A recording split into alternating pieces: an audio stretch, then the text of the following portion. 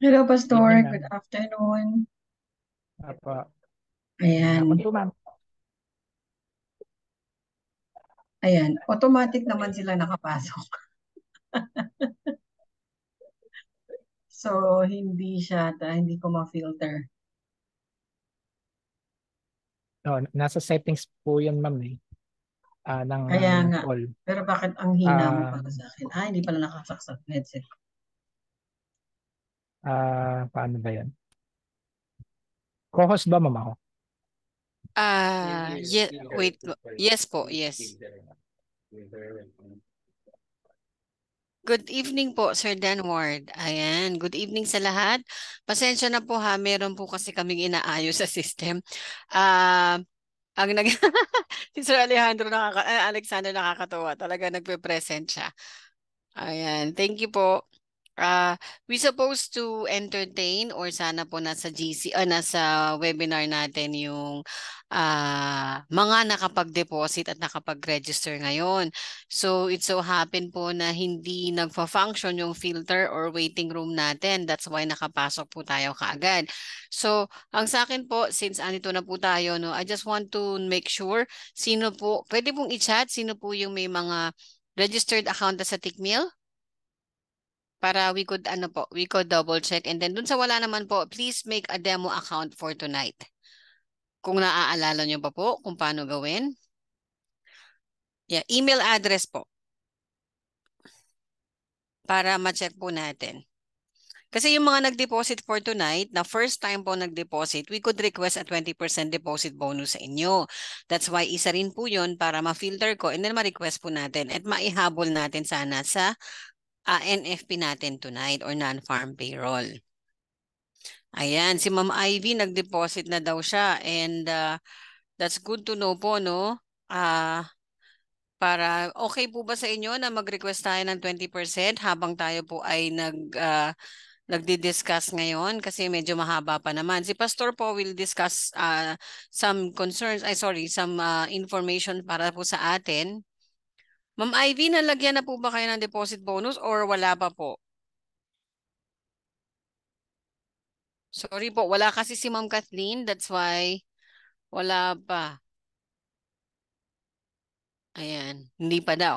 So sige po, uh, Pastor, siguro habang nagchat-chat sila, I will address muna para magawan ko sila ng 20% deposit bonus kung mahabol.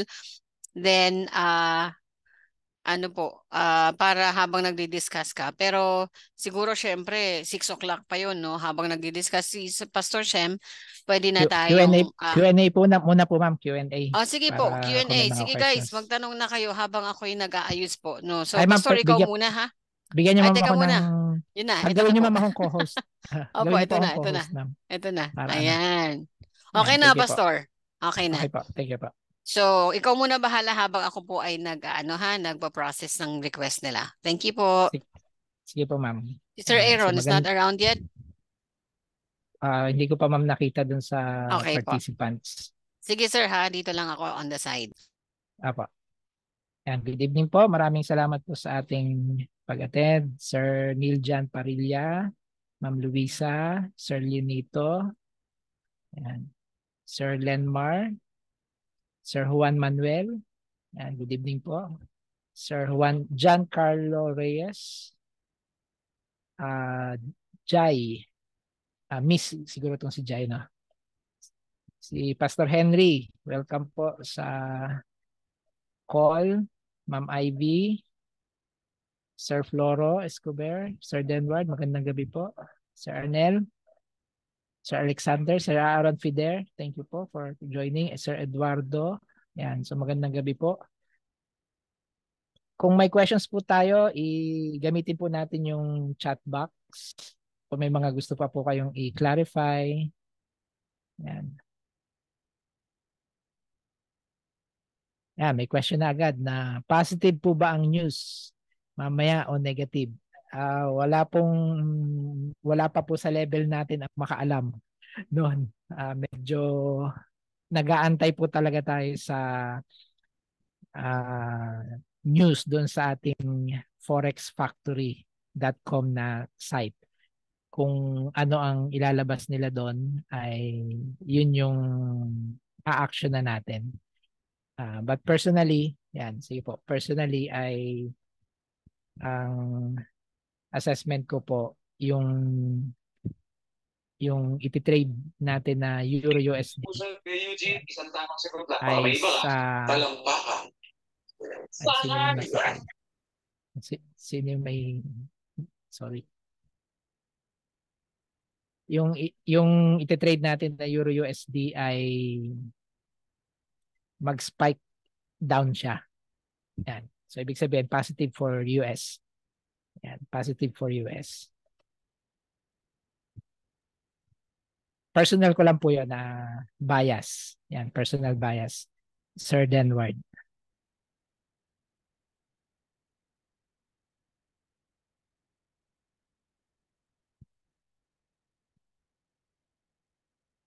Ang inaabangan po natin ay yung tinatawag na um, Luisa, what could be the nature of possible news? Uh, non-farm employment change. So change in Sige, ipakita ko na po dito sa screen.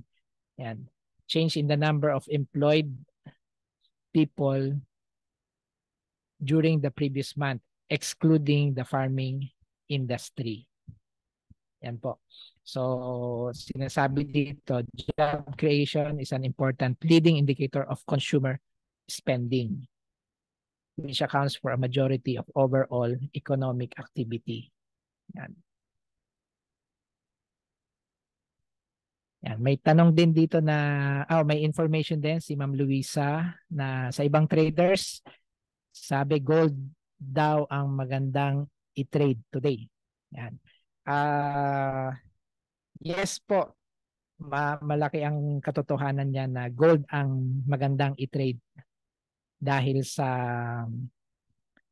yung impact ng news ay mas magnified sa kanya. Yon. Um, although, yun nga po, ang sinasabi natin, kasi ang gold ay napaka-volatile, mas volatile pa siya sa Euro USD na pair, currency pair, ay baka ma, ma magulat or ma magpanic o ano bang masabi natin. Kasi live live po itong date gagamitin natin eh. At first time ninyong ma-experience. Kaya doon po muna sa, tayo sa uh, currency pair na Euro USD magti-trade. Yan. Kung gusto niyo po na mag-trade sa gold, uh, wala naman pong pumipigil sa inyo. Ayun, ang matututunan natin dito sa uh, gabing ito, yung about non-farm employment change, yung strategy, yung uh, tinatawag na shotgun trade ay ma-apply nyo rin sa sa gold na or sa XAU USD na pair. Yan. Sa sa atin po kasing MT4, wala kayong makikitang gold doon na symbol. Ang makikita nyo po ay XAU USD na pair. Yan. At yun pong X, XAU USD na pair corresponds to the gold na tinitrade natin. It's a metal, under the metals category. Yan. Uh, sunod po na tanong. Sige po, Q&A pa tayo. Pwede naman Sir Arnel yung ibang uh, major pairs. Yan, pwede naman. Ang i-consider mo nga lang dyan po ay yung spread. Ano po?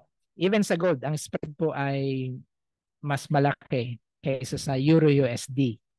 Ayun po. Kaya prefer din natin na yung yung spread na gagamitin o na i-trade natin ay yung mas manipis na tinatawag na spread. Tight, tighter ang spread. Si Euro USD po kasi ang pinaka-tight na spread.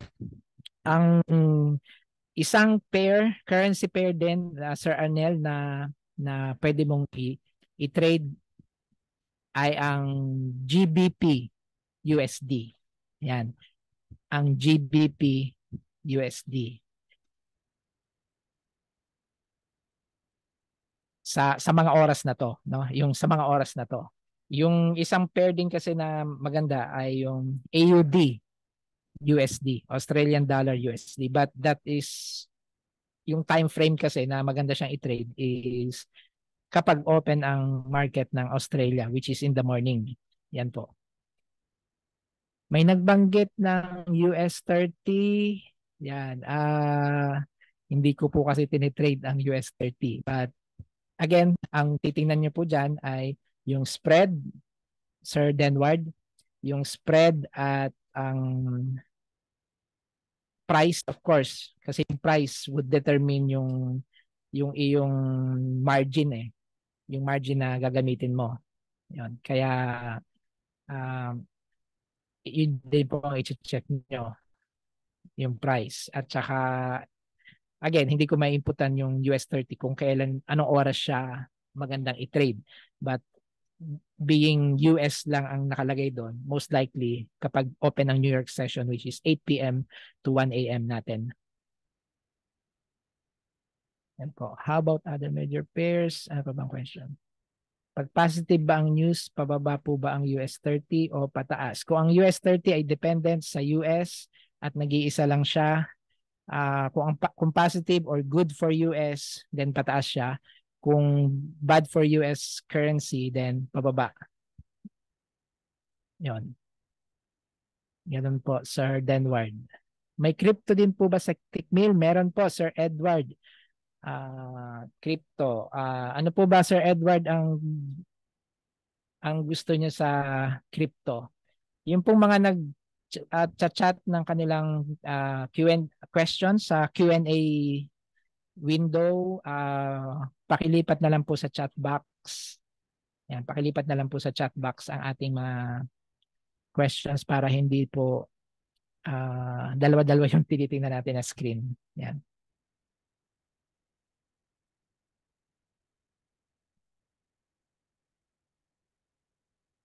altcoins na iba. Ah, okay. So tingnan po na tingnan po natin uh,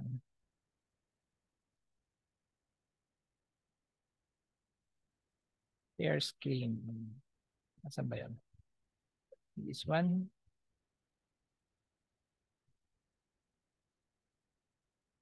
Nakikita niyo po yung screen, no?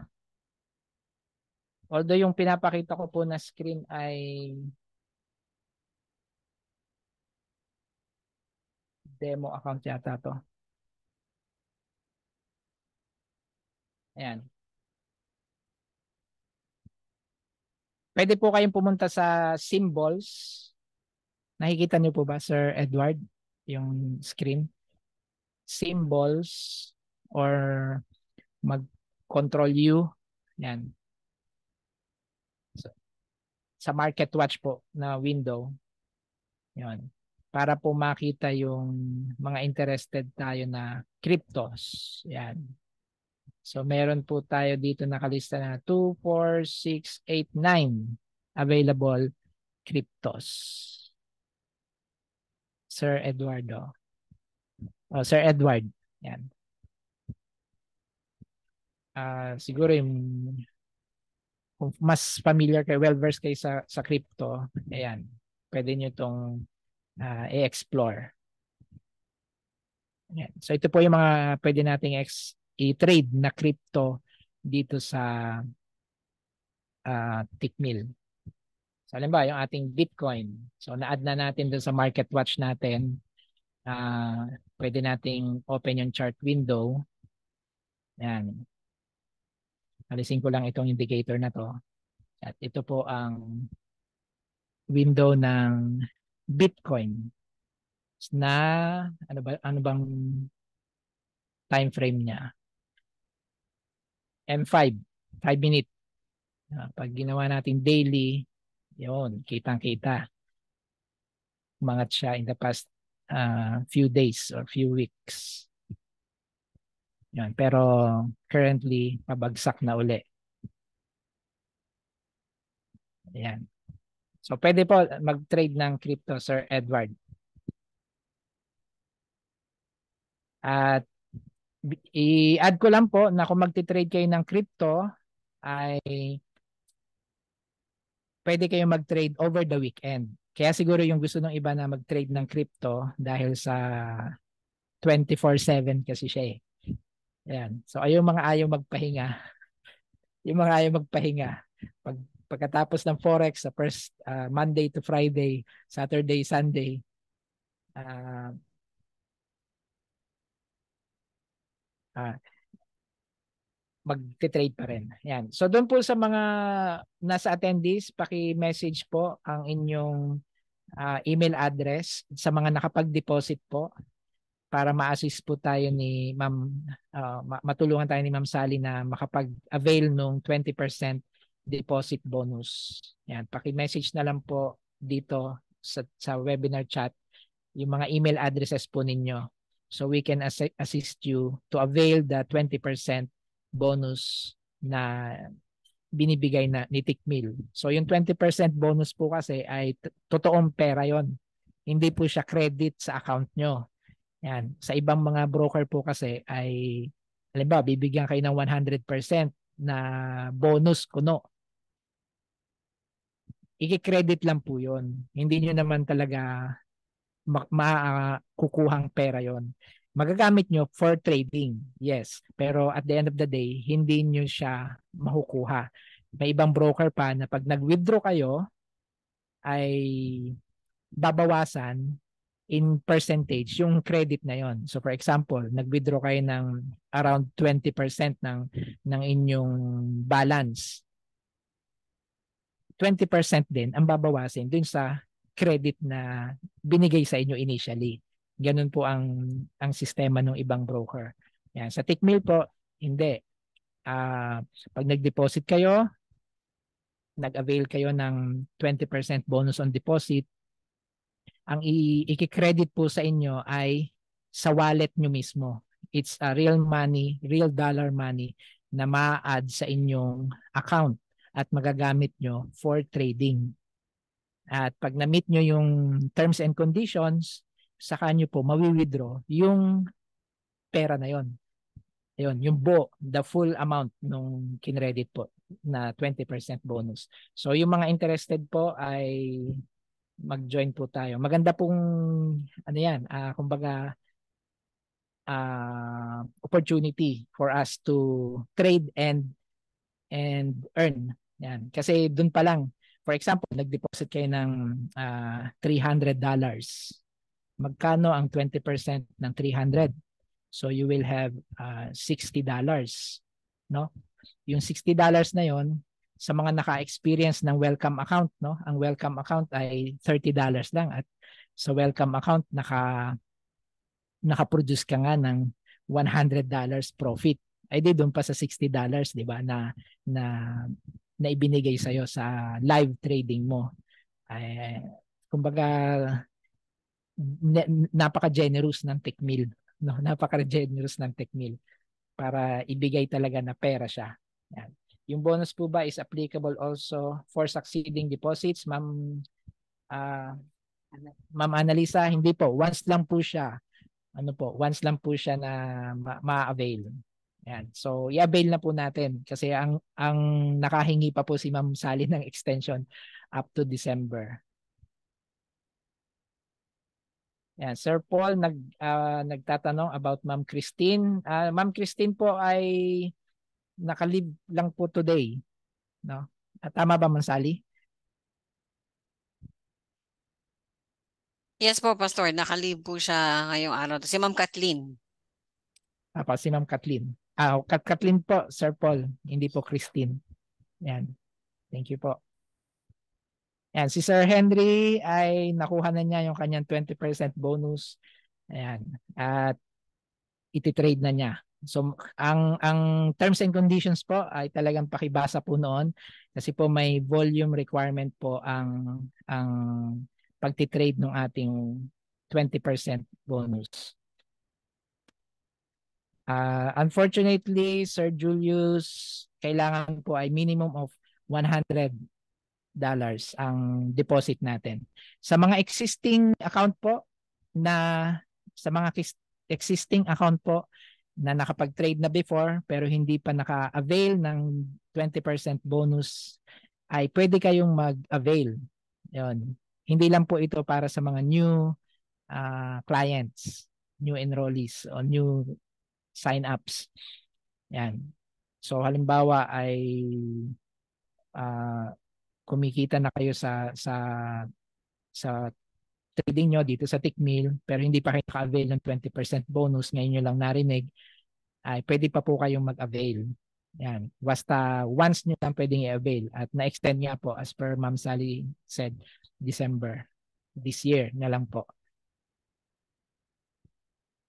Yan. So sa mga nakapag-deposit po this week at gusto niyo po mag-avail, paki-drop lang po ng inyong uh, email address sa chat box para makita ni Ma'am Sally at makapag-request siya on your behalf. Yon. Sir Denward, pag na-withdraw na po ba yung 100 USD mo, wala po ba ang 20% bonus? Um, yung proseso po kasi nung withdrawal, pagka receive nyo ng 20% bonus is kailangan nyo po munang ma, ma, ma-trade up to the required volume. Pag na-trade nyo na to the required volume, yung bonus ninyo, saka lang po tayo ma- makakapag-withdraw. Meaning, yung bonus natin, yung profits natin, at yung dineposit natin, pwede na nating, kung gusto lang natin kunin lahat, o, di makukuha natin lahat yon Ayun po. Sir Denward, I hope clear po yon Ang, ang requirement lang, after receiving the bonus, 20% bonus, dun lang tayo magsimulang mag-trade. Sana, no? Doon lang tayo magsimulang mag-trade sana para clean sheet. Pero per experience po, kahit mag-trade kayo naman na halimbawa nag-deposit nag-deposit kayo ngayon, uh, nag-trade tayo, uh, pwede 'yon. Pero once na dumating ang 20% bonus, dapat isama natin yung 20% bonus dun sa ating trading account. Pag naisama na natin yung 20% bonus sa trading account natin, doon lang magsisimula yung counting ng volume requirement. Ilan lot po ang requirements? Sir Julius, ang requirement ay depende sa bonus amount na na-receive. Yan po. So kung 100 po ang, ang dineposit natin, may 20% tayo na $20. Ang requirement po ay per one lot, uh, per 5 dollars nung bonus is one lot. Yan, one lot. Yan, sir, tama po ang binanggit ni Sir Aaron. One lot is for every 5 US dollars. So yung 20 dollars na bonus on our 100 dollar deposit is equivalent now to 4 dollars. Yan.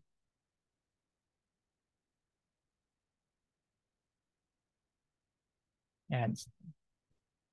Yun po yan, Sir Julius.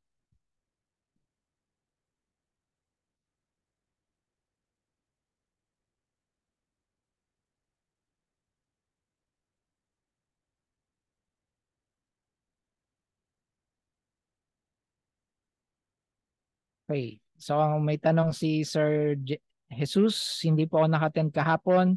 Hindi na po ba ako qualified ng certificate? Ang alam ko po, uh, five minimum. Uh, ano po Ma'am Sally? Five yung minimum natin yes po. na attendees. Yes po. Yun. Five na uh, attendance po sa ating seven webinars. Uh, you are still qualified to get the e-certificate po. So wala pong problema Sir Jesus kung kayo po ay naka-attend. Uh, I mean, kung na-miss nyo po is one webinar lang. And those po na maka, nakapag-avail na po kasi nag-start po tayo sa 15% deposit bonus and uh, nag-increase po tayo ng additional 5%. Doon po sa mga nakapag-request na starting May up to nung nag-start po tayo mag uh, 20%, uh, hindi na po natin makakredit yung at uh, 20% kasi na-avail na po natin. So sabi nga po natin it's okay. one time only. So uh-huh. ma-advise lang po no, ayun po ang nangyari for example kay Sir Paul. Uh, nagamit nagamit na po yung 15% sa account niya. So he is requesting for another, kasi nag-deposit siya ulit. Hindi na po ma-approve, uh, sir, sorry po. Uh, medyo mahigpit yung funding department natin. So once na nagamit po siya within the period na yung campaign period natin for this, uh, hindi na po natin makakredit. Okay po? So yun po siguro yung uh, email ninyo kay Ma'am Kathleen hindi po nasagot. So ako na po yung sumasagot sa inyo. Ayan. Thank you po. Sige, go ahead, Pastor. Nakamit pala ako. Sorry. Sige po. Thank you po Ma'am Sally for that. Ayan. May mga questions pa ba tayo? Sa Q&A may question doon na doon po ba sa entry nyo na 1 minute, 5 minute, and 15 minute, ano pong time frame kayo naka-base? Nagbe-base ng trend. Ang ang trend po natin ay kinukuha natin sa higher time frames. Yan. So dito ay sa screen nakikita nyo yung uh, Euro USD sa 15 minute chart niya. So lilipat tayo sa higher time frame. For example, sa highest nuna. Ayan. Sa daily. Ay, marami pala akong ano dyan. Naka palitan ko ang aking ano piniling chart. Marami na pala akong analysis dito. Yan, balik ko muna sa M15.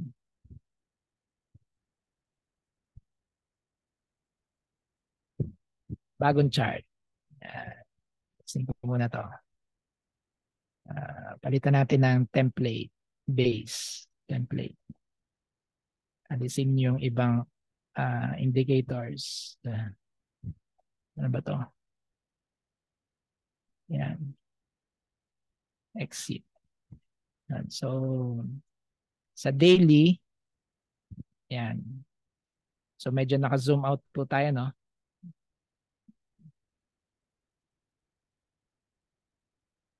So sa daily, uh, generally, downtrend ang Euro USD. Although, bumawi siya ng konti. No, ito yung bawi niya ng konti eh. But, ang general trend niya is pababa. No? Kung i-apply natin yung uh, tinuro ni Sir Aaron, no, na higher low, lower high con- concept. Yan. Pwede nating masabi na nag nag nag-change na siya. Yan. O baka gusto mo Sir Aaron na ano, na i-discuss yung part na yon, yung Ah, alin po sir? Yung dito kasi ang ang nababasa ko, no, uh, from high from high nag low, higher, uh, lower high, lower low, lower high. Tapos dito sa part na to, yan. Ito na yung Ah, naka-daily yan, sir. Naka-daily. Yes. Okay. Oh, it, it, Okay, so ito so yung pag nag-annotate ako, sir, ma- makikita po ba pag nagsulat ako? ah, hindi ko sure. Try mo, sir. Hindi po. Ah, kailangan siya ayan. mag-share. Hindi, pwede po ma'am. May sa annotation Pwede po siya? sa Apo. Okay, sorry. Oo, sa nakita yung blue ng line? Zoom. Nakita yes, sir. yung blue Nakita line? po. Ayan. Yes, Okay, sa sir. daily po, compare sa daily, if titingnan natin yung external structure. When we say external structure, ito yung major leg. Yan. Every leg, yan sa daily, yan yung major niya. So, kung sa daily, titingnan natin si Euro USD, nag-choke na po yan sa daily. Choke na yan. Ibig sabihin, sa daily, bearish na si Euro USD. Pero, ito ay sa external. So, kumusta naman ito? Yun mga loob niyan. Yan yung naman tinatawag na internal structure. So, makikita natin siya sa H4 and H1. Okay, dyan titingnan. So, kailangan nating unang tingnan yung external and yung mga internal. Yan, yan ang mga leg na yan sa lower frame. Tinatawag na niya na internal or substructure. Major structure yung yung etong mga leg. So ngayon, sa H4, si, pwede po ba Sir Shem, H, paki-change po sa H4? Okay. So sa H4, kung titingnan natin, ah yan, yan. Very good, sir. So kung sa H4 titingnan natin, nag-choke na ba si si Euro USD? So halimbawa, kukunan natin ito. Itong lower low, lower high, na break, break of structure, lower high, lower low, another break of structure. Ito na po yung last lower low. Tama ito. Yan yung last lower low. Ngayon, dito natin i-base if mag-break of structure. Ngayon, ito yung last lower high. So ngayon, na-break na ba itong last lower high ng body ng candle? Close? Successful?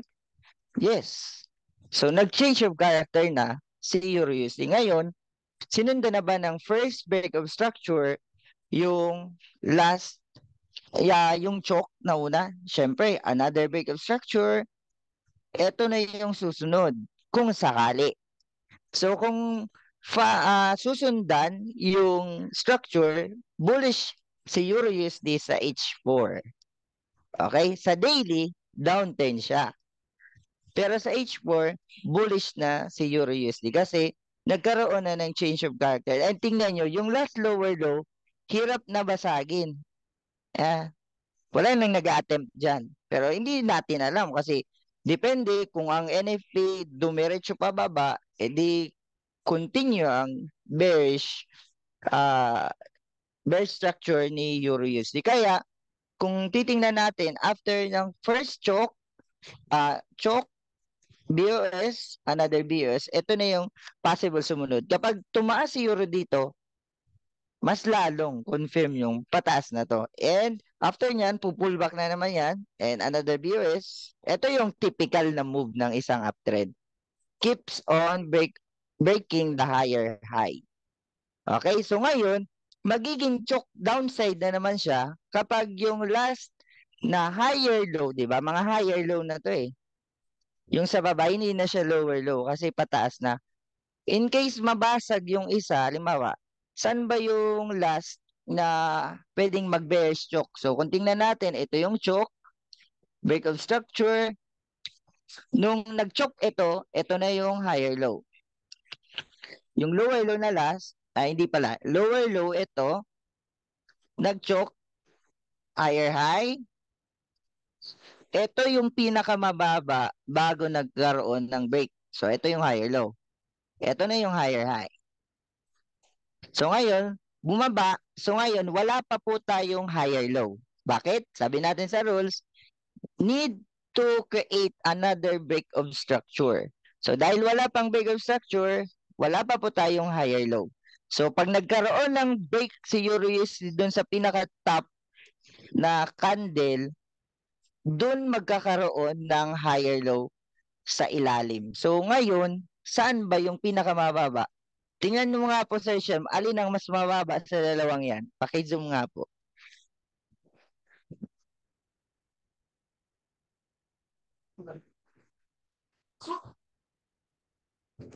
M- Alin empty mas po lang. mababa, sir? Minamouse ko yung ano.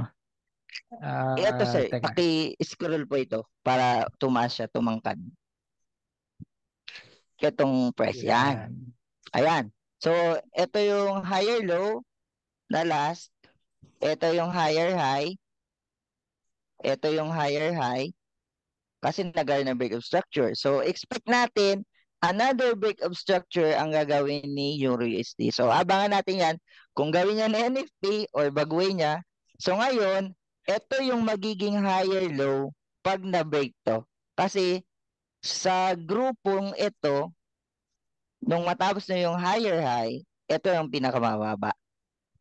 Okay? So, tingnan nyo, kung nag, sa first choke, alam nyo yung first choke, pag pullback sa support, pwede na kayong mag-buy. Kung nag-buy kayo dito, may confirmation candle or hintayin yung ma-break, pullback, bullish engulfing, buy, another higher high, pagbalik, pwede kayong mag-buy dito or eto, morning star sa support.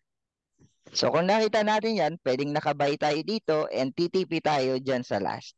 So kung kagabi nag-attempt sana si USD pero bumagsak. Pero ngayon paangat na naman siya. Titingnan natin. So mamaya pag nangyari yan, confirm na natin na pang ilang break of structure na yan. First choke, first Ay, break of structure, pangalawang break of structure mangyari pag binasag yan. So pag nabasag yan, kung gusto ulit natin humabol ng bar, hintay tayo ng pullback, hanap tayo key level na pwedeng pwestuhan or magbatak tayo ng Fibonacci from this low, tapos yung high, pag-ikot, so pwede nating i-base. Or hanap tayo ng mga key level. Halimbawa, ah, sa area ito, ah titingnan natin kung saan nag-respect yung price. Ito may respect, ito. So, pwede tayong gumuhit ng support somewhere here. Yan. Pwede. Pwede yan. Kasi ranging to. So, pag umangat siya, pwede siya mag-pullback dito or depende kasi minsan, hindi na yan nagpo-pullback ng ganyan kalalim. So, ngayon, nagpo-pullback siya ng malalim. Kasi ang isang trending market kapag solid, ganyan lang yan halos 50% lang, hindi na bumabalik sa dati. So ngayon, ano yung idea natin kung saan tayo papesto? E di hanap tayo ng choke kahit sa 1 hour time frame. Limawa, pag bababa na yan, katulad yan, paki-change ka po sir sa 1 hour para ma-discuss natin yung change of character. Ayun. So ayan, kung magbabay kayo, hindi nyo alam saan kaya possible to lilipad. Halimbawa dito, bumagsak alam nyo nang nag-break of structure dito. So, ang gagawin nyo, hahanap kayo ng buy confirmation, ah, buy entry. So, hindi nyo alam saan kayo papesto, gaano kaya kalalim ang pullback nito bago bago mag-continue pataas. So, yun titingnan natin. So, sa area na ito, sa 1 hour time frame, lower low, lower high, lower low, lower high, si downturn pa to wala wala pang bullish choke na nangyayari.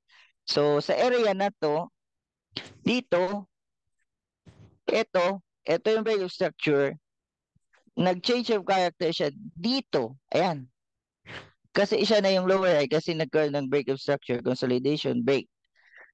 Tapos, nung magkaroon dito ng change of character, nag-pull back, oh, pwede na sana yung pumesto dito. Ito yung support support na level dito, dito na yung possible na buy nyo. Sana. Pero kung hindi kayo nakabay dyan, nag-pull back ulit, hammer, candle, another buy sana dyan. Okay? Tapos kayo na, tapos bumalik, wala pa, wala pang bumabasag. Nag-range pa si Euro USD sa loob niyan.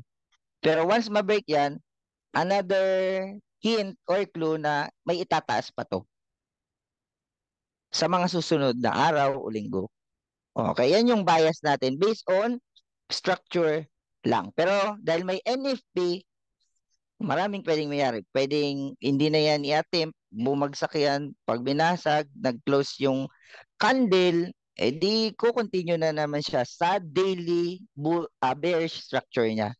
Kasi sa 4H pa lang bullish, pero sa daily is still bearish po si euro kasi nag-change of character siya doon sa last higher low.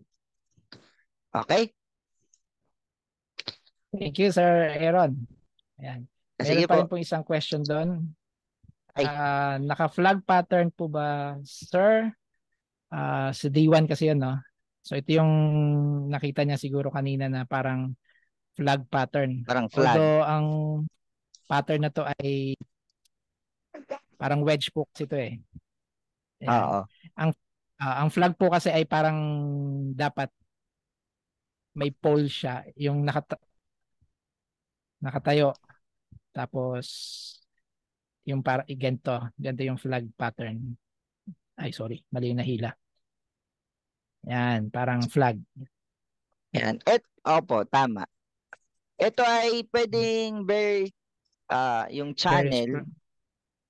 Oo. Oo, yung, yung channel na ganyan, yung top niya, at yung low, maghalos magkaka magkakapantay. So ngayon, pwede nyo yan bias sa daily. Pwede siyang mag-continue pa baba ganyan. Lalo na, etong last na higher low, di ba? Sabi natin, pag nag-break of structure, ah, nag-change of character, hanap tayo ng possible key level na i-respect, di ba? Yung higher low, pag ganyan, etong last low, pwede nyo magamit na resistance and magkukunin nyo. Hanap kayo sell. Dito kayo maghanap ng sell model pag tumapat dyan. So ngayon, kung i-base natin yan kay Euro USD, so eto yung nabasag niya, kapag ni-level nyo yan, ah pwede ipalagay sir ng ah rectangle et eto dito. Yan, etong dyan. Pa- wala palagay tayong- po sir para mas ma- malinis. Shape Wala sir, sa shape. rectangle. Insert. Ay, ano ba to? Ayan, Ah, yan. kasi ano to? Empty. Apa, may empty, rectangle po ano ba sa to? MT4, MT5, kahit saan. Hmm. Yan. Ah, channel yan sir. Oh, yun, yun na rin ang kayo, sir, sa rectangle dito. eh. insert. Ah, saan ba? Hindi ko gumagamit ng Insert. rectangle. eh. Insert po. Shape. Shape. Ah, Rectangle. shape. Okay. Ayan. Yun. May ganun pala. O, Ayun. pareho din. Parang Oo. Medyo tagilid lang to kasi naka-channel. hindi ko na ma... Teka lang. Delete. Hindi ko makuha. Yan. Lagay nyo sir dito sa level na to. Yan, yan. Hindi ko siya maklik. Yun. Tapos liitan nyo sir. Ayan, o, di ba? Doon sa key level na topic natin, ano masabi nyo? Di ba? Pag nabasag ang isang support, magiging resistance. Ano ang tawag yun? SBR ba o RBS? Ito ay SBR. SBR. Okay. Yung SBR. support, nabasag, magiging resistance. So, yan din yung isa pang bias. So, very good yung observation ni sir na nagsabi nun. Pwedeng mangyari din na mag-top dyan, tas NFP, kung ibagsak ng news, o pwede rin yan. Okay, kaya nga titingnan natin lahat. Kumbaga, ah mag, nag, napaka-importante yung nagmumulti time frame tayo.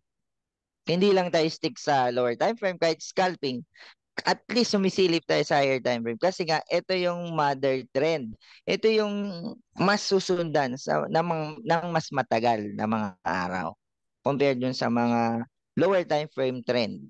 Okay, ito yung higher time frame. Dahil Gaya ni sinabi ni Ma'am tumitingin siya sa H4 daily, di ba? Kung nahuli mo yan, in case talagang magkukontinue pababa si Euro USD kasi nag-choke na siya dito, pwede na po kayo maghanap dyan in case ng sell long term. Okay? Long term, ibig sabihin ilang araw o linggo. If. Pero pag na-break to ni Euro USD, umangat siya dyan, nag-close yung daily candle, eh, magiging bullish na naman to. Pag bagsak niyan, baka ganyan na yan. Yan. Pwedeng mangyari yan. So, maraming possible possibility na mangyayari kay Euro USD. At least alam nyo yung bias. Either ano yung mangyayari, kaya nyo makasabay. So, kung gusto nyo, pag nabay yan sa taas, hinihintay nyo pag pullback, dyan kayo mag-buy. Pwede kayo mag-long term buy. Yan. Okay. So, okay na po ba? Ayun. So na- nasagot na nasagot na rin yung sa pattern, no? Sa pattern. So kung kung magbe-base lang tayo sa pattern ay para siyang magko-continue na doon sa general trend niya kanina which is yung binanggit ko na noong una natin tiningnan general trend niya ay pababa nagkaroon lang dito yan for a few, for a few days or a few weeks na na nag-a-attempt siyang i-break itong used to be support. Ayun. Pero kung pattern ang pagbabasihan mo, pwede nga na ikaw ay mag-sell dito later on. Yan. Kasi ang mangyayari dyan ay aangat nga lang siya dito. Yan. Doon sa kung saan nandun yung leg, no? Yung, yung, yung dinodrawing mo na sa pattern. So, ah, pag angat niya dyan, so pwede niyang lampasan yung rectangle na to na nilagay natin. Pero pag pa, pagpatak ah, paghataw niya doon, bab- babagsak siya kasi based sa pattern. 'Yun ang principle nung nung nung pattern. Okay. So, yung mga yung mga nagre-recognize ng pattern, ganoon naman sila mag ah, mag implement based sa kanilang ana- analysis.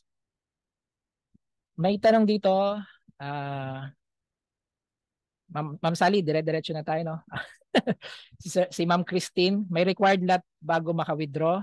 Ah, Ah, yeah, Pastor, pu- ah, pwede tayong Hmm. mag-start with prayers muna bago tayo mag, ano, Okay. kasi NFP pa naman tayo ngayon. Ah, sige ba, sige. So, ayan. So, ayan. Napakaganda ng discussions natin, no? To, ano naman, sorry to cut you off, guys. I know na-excited na kayo for all the uh, uh, exciting uh, event, no? For tonight. And I just want everyone to realize kung gaano po ka-importante na meron tayong account ngayon. And at the same time, those who doesn't have their account pa, no? Please do open a demo account para makasabay po tayo kay Pastor Shem pag nagbigay na po siya ng bias niya later. So again, punta lang po. Siguro si Sir Aaron or any, si, si Pastor Shem na din na mag, magturo para makakapag-open ng demo account. So lahat po kayo ini-encourage na mag-open ng demo account ngayon or uh, uh, wala naman pong bayad ang demo account no para po makapag-participate po tayo at maramdaman ninyo paano ba at gaano kabilis gumalaw lalo na sa ganitong klase ng event na dinaabangan po talaga especially sa US market. So again guys kung wala pa go to tickmill.com Papakita po ni Pastor Shem or ni Sir Aaron later how to create a demo account dun sa wala pa. And then uh, you could practice and experience it yourself later. Okay, so before that, I would like everyone to request. Uh, I know dun sa mga bago, no, meron ba tayong bago as in first timer? Sorry, hindi ko po hindi po natin na welcome kanina. Sorry po dun sa mga sa mga bago, welcome po and masaya po kami na kasama namin kayo for tonight for uh, this exciting event na non-farm payroll. I-discuss po yan ni Sir ni, ni, Sir, ni Pastor Shem later. And dun po sa mga dati nang uma-attend, thank you so much at binigyan nyo kami ulit ng time. And last day natin ngayon, ano? So maraming salamat. And then sa mga first time na a-attend pa lang po ng Forex Trading Seminar, uh, medyo na late po tayo but still we are willing po na entertain your questions and if you would like to have a recording of all the webinars, we are ano po happy to send you a, a, a copy. However, kailangan po natin ng um, verified account po or registered account po tayo sa Tickmill. So magre-register po tayo sa tickmill.com, create account, then follow instructions, then upload po yung mga requirements. Kung nahihirapan po kayo or any may questions po kayo, pwede po kayo mag-send ng message sa akin or kina pastor po or kay Ma'am Kathleen dun sa ating account manager. Uh, magpo-post po, andyan po sa sa chat box yung aking Facebook account. Everyone could see and send me a message po para po hindi kayo mahirapan kung meron po kayo mga concerns. Ano? And uh, now guys, dun sa, sabi ko nga po sa mga bago at dun sa dati nang umaattend, we always say, eh, we always start and end uh, ano daw po, Ma'am Sally, when you say registered, kasama ba ang demo account doon? Uh, pagka demo account po, it's just everyone is, ano, uh, I mean, everyone is welcome to create a demo account account. Pwede na po kayo mag-start mag-create ng demo account kahit wala pa po kayong registered account. Ibig sabihin lang po ng registered account, yung nga po yung sinabi ko may create account, then upload po ng documents. You can go to the website po ngayon, uh, punta lang po kayo sa tickmill.com, nakalagay doon demo or create account. So click nyo lang po muna yung demo, then follow the instructions po. Email address lang naman po ang kailangan dyan. Then, um, ano, Pastor Shem, uh, pro account ba tayo or classic? Ah, pwede pong pro. Okay, pro. Okay, and the leverage is? 1 is to 500 na ma'am. 1 is to 500. What is the ano po, ating capital?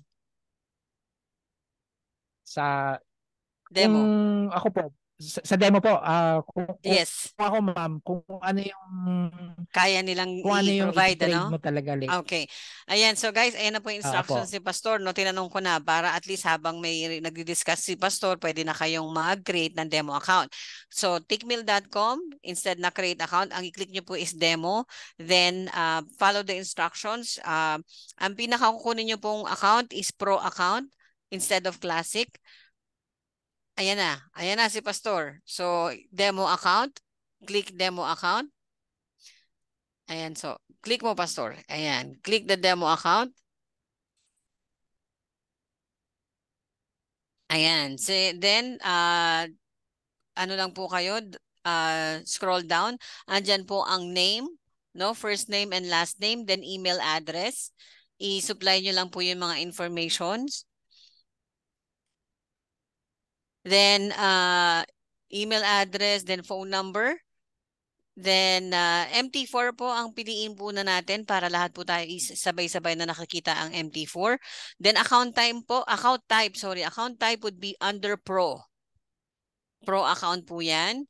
Then sa ano po ito? Uh, ayan, account type and then USD, under USD tayo, no? Leverage is 1 is to 500. For now lang guys ha, for now. Pero pag sa sarili nyo account, uh, 1 is to 100 to 200 lang tayo ha. Then, professional na po yung pro. And then, USD, Then we ang uh, virtual deposit po, ano po ba yung kaya nyong i-deposit for your own live account? Bakit po namin sinasuggest? Kasi para realistic po, para ramdam ninyo at makontrol ninyo yung emotions ninyo pag yun na talaga yung money na pwede nyong i-deposit. Kung 10,000 yung kaya nyong i-deposit, $10,000 po ha. Wala pong peso dyan. So kung $10,000 or $100,000, it's up to you guys. Hindi po namin kayo nililimitahan. Kung kaya pong minimum deposit is 100, go ahead. As long as po uh, kaya nyong ma-feel at ma uh, yung uh, magiging expectations natin for later. Alright, so ganyan lang guys. Then click nyo lang po yung ano, open demo account. Then go to your email addresses. Makikita nyo po yung account number, then master um, uh, demo account password. And then yun po ang ikikiin nyo sa MT4. Ayan, make sure na meron na kayong MT4 sa laptop. Galing Tickmill po yan ha. Mag-download. Pastor, pa-check nga po sa ating ano. Pro account po. Hindi, okay lang po yan Ma'am Luisa kung naka meron na kayo ng classic. Kung meron, kung gusto po mag-create ng pro, pwede rin naman po. Ayan. Para lang po lahat tayo pare-pareho ng tinitingnan later.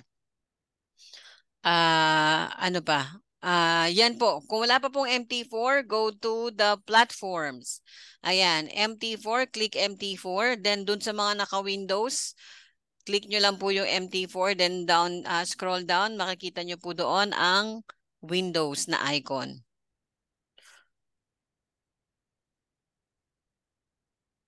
Ayan. Sorry ha, nag, uh, mabilisan na to.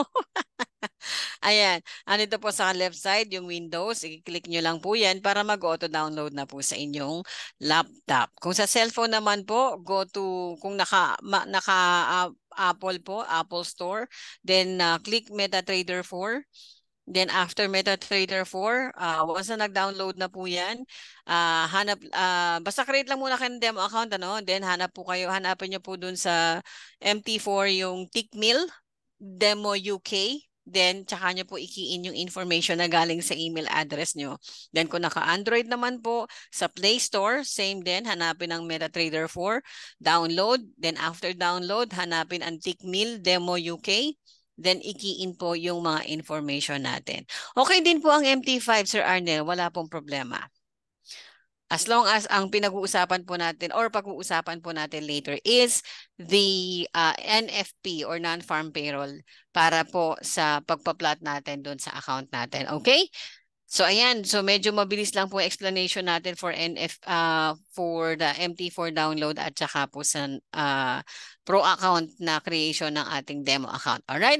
So guys, again, we respect and value and uh, your organization and your faith and your religion, no? But please do allow us to pray before we start our webinar proper for the non-farm payroll.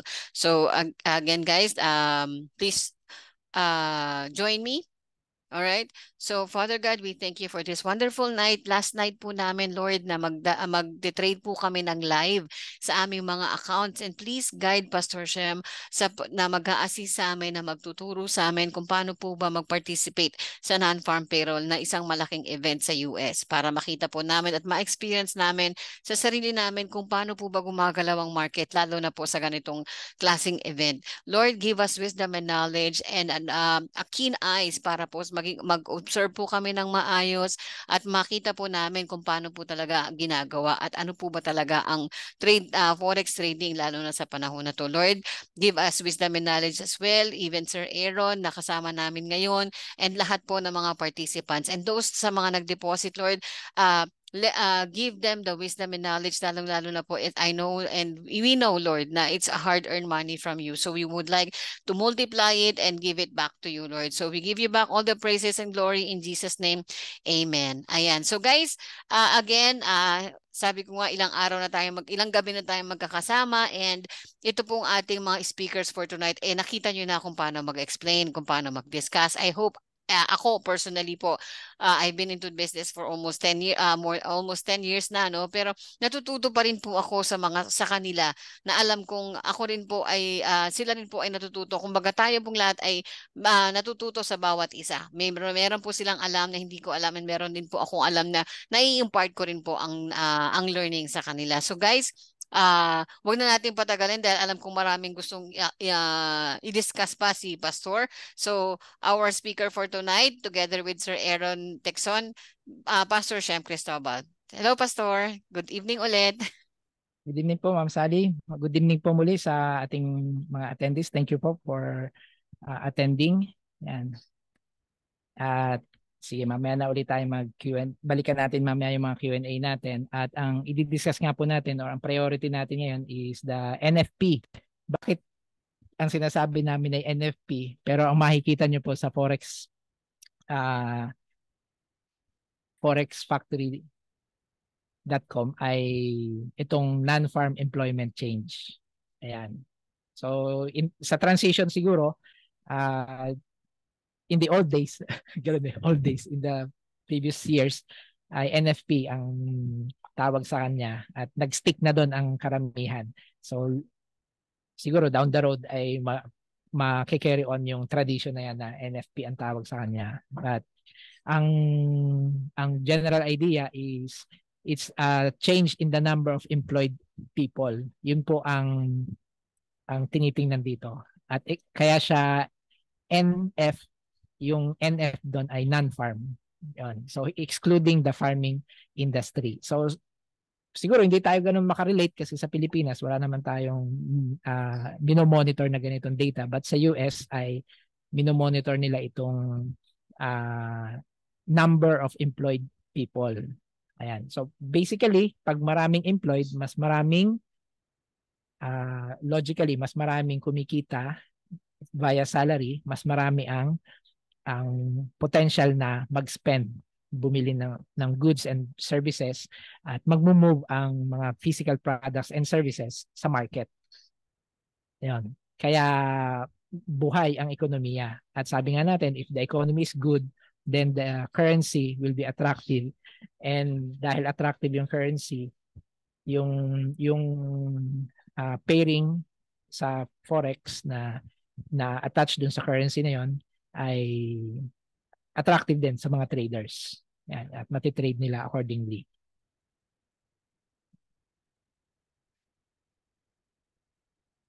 Okay, ang ang NFP ay data ay nire-release 8:30 PM natin. 8:30 PM. Pagka nagpalit na ng DST, pumapalo yan ng 9:30 PM. Yun. So ngayon ay hindi pa DST but after November 6 yata magdi-DST na. So yung next na non-farm uh, employment change data release would be 9:30 PM natin or 21:30 sa military time at papalo yun ng 16:30 naman sa MetaTrader time. Ayun. So mamaya makikita natin bakit uh, kailangan matandaan yun sa MetaTrader time. At noong Wednesday, sinabi nga natin how we trade this fundamental economic uh, indicator na NFP. Ang approach natin is dapat prior to 8.30, wala tayong open position and we wait for the result. This is the less risky approach. Uh, iintayin mo na lumabas yung data at paglabas ng data, saka ka magde-decide. When the when NFP result is good for the currency, then you buy yung mga pairs na ang quote ang ano ang base currency ay yung USD Yan. So USD CAD, USD JPY, yan. You buy it because the data is good. But if the data is bad, you sell naman yung mga USD, CAD, USD, JPY na mga pairs. Kapag ka ang iyong ang USD ay siya ang quote currency at good ang result ng NFP, you sell that. So ang Euro USD later na iti-trade natin, isi-sell natin siya if the NFP data is good. At sabi nga natin, may additional visual cue tayo, yun yung green. Kapag green ang nakita mo doon na na color nung result actual data, good yon for USD. So we sell Euro USD. But pag yun ay red, we buy Euro USD. Yun, we buy Euro USD.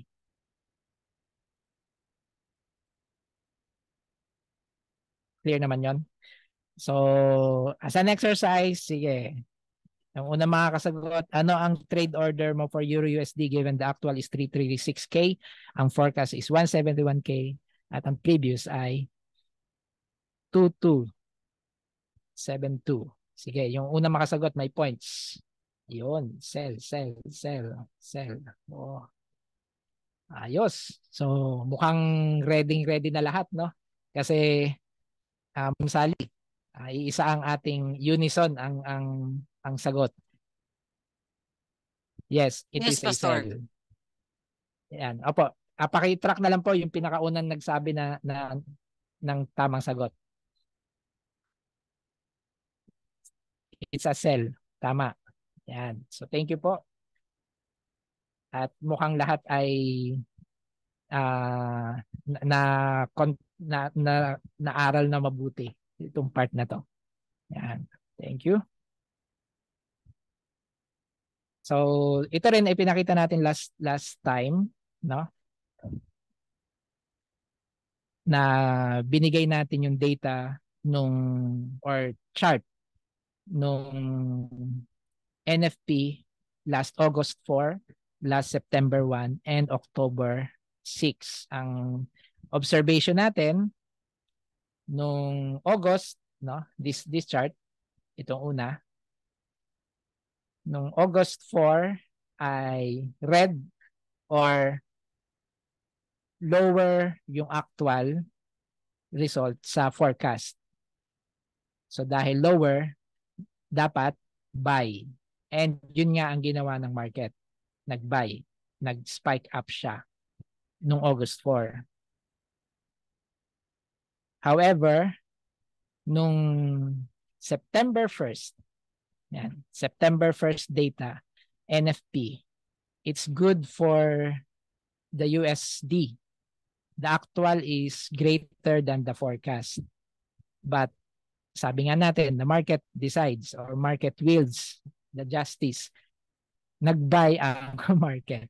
But eventually, makikita rin naman natin, nag-sell din siya. Ayan.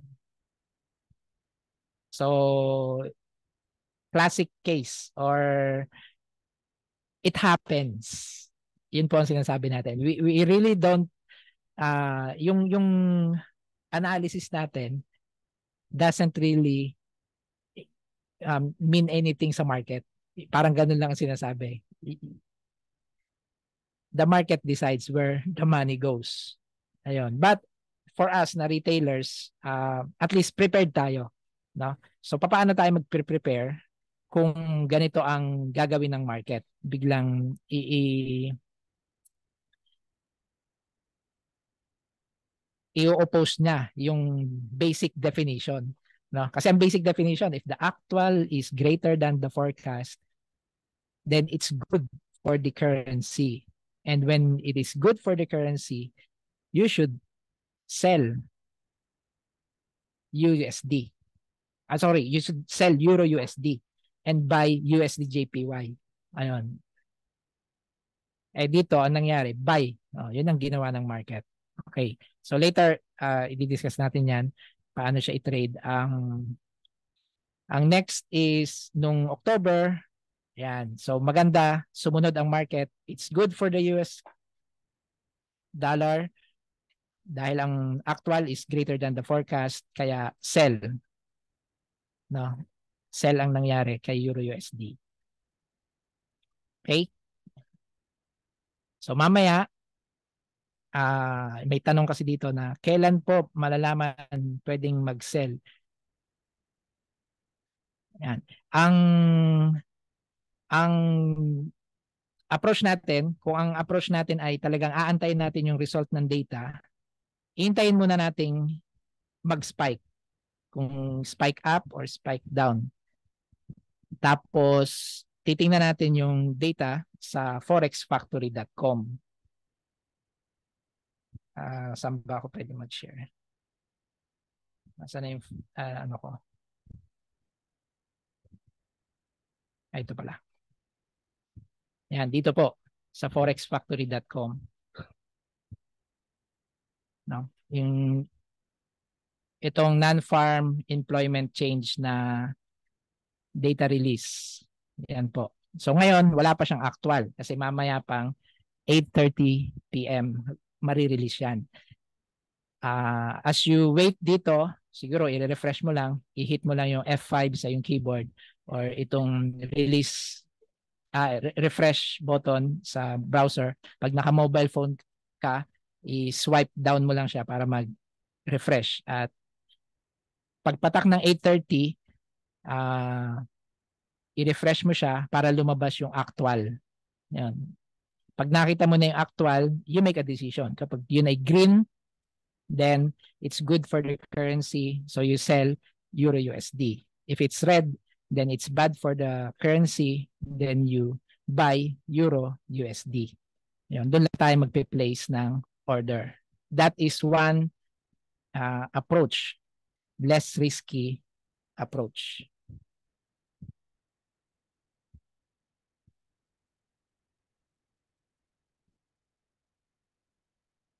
Okay, so may mga questions lang. Pwede po bang antayin mag-October 1 para may profit ako? Teka lang. November na po ngayon, Sir Aaron Fider. Uh, hindi ko po ma-sure kung bakit October 1 yung binanggit nyo. Ayan. Okay, so yun po yung mga questions. Uh, next po, yung mga questions po natin, doon lang po natin i-type sa webinar chat para iisa po ang ating yan.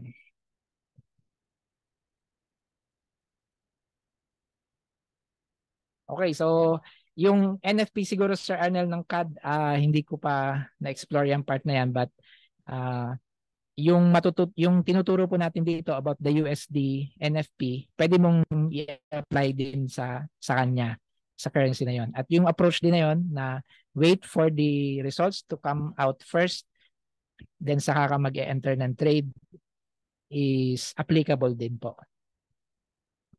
Yan. So sa Forex Factory din po natin siya titingnan. Okay. Yan. Meron pa ba akong nandun sa slide.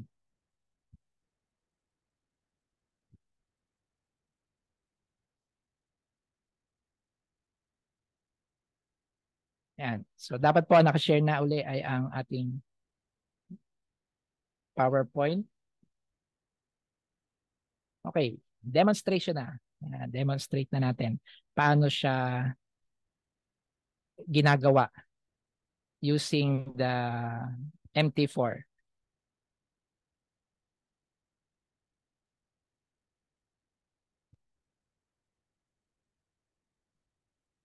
Okay, nakikita niyo po yung MT4 chart.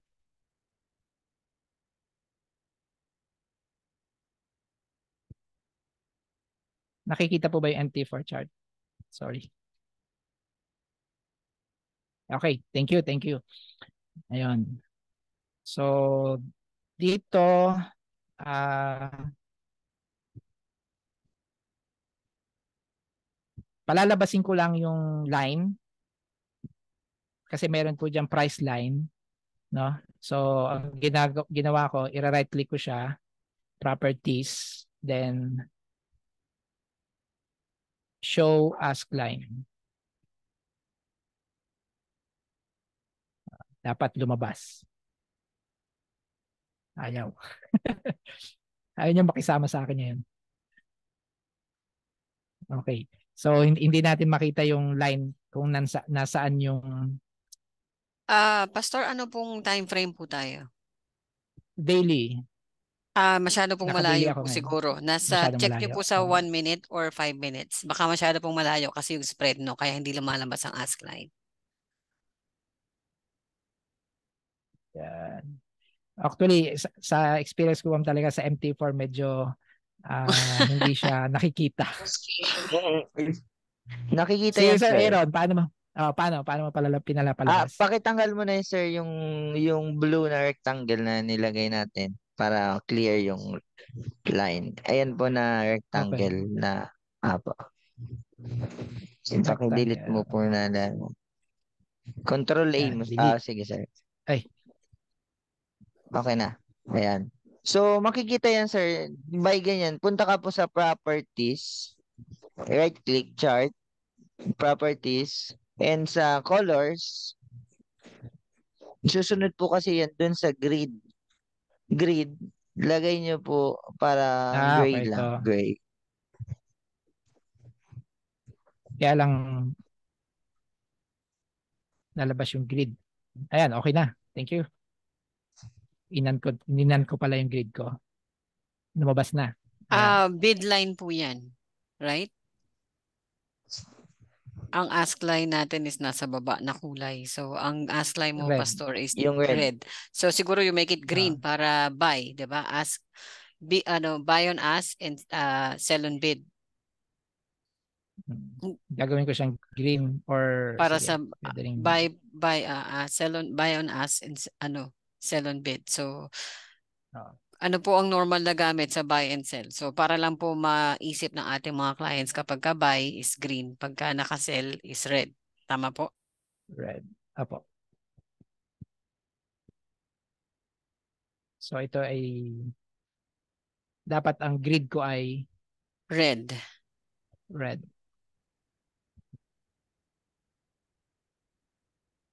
Ayan.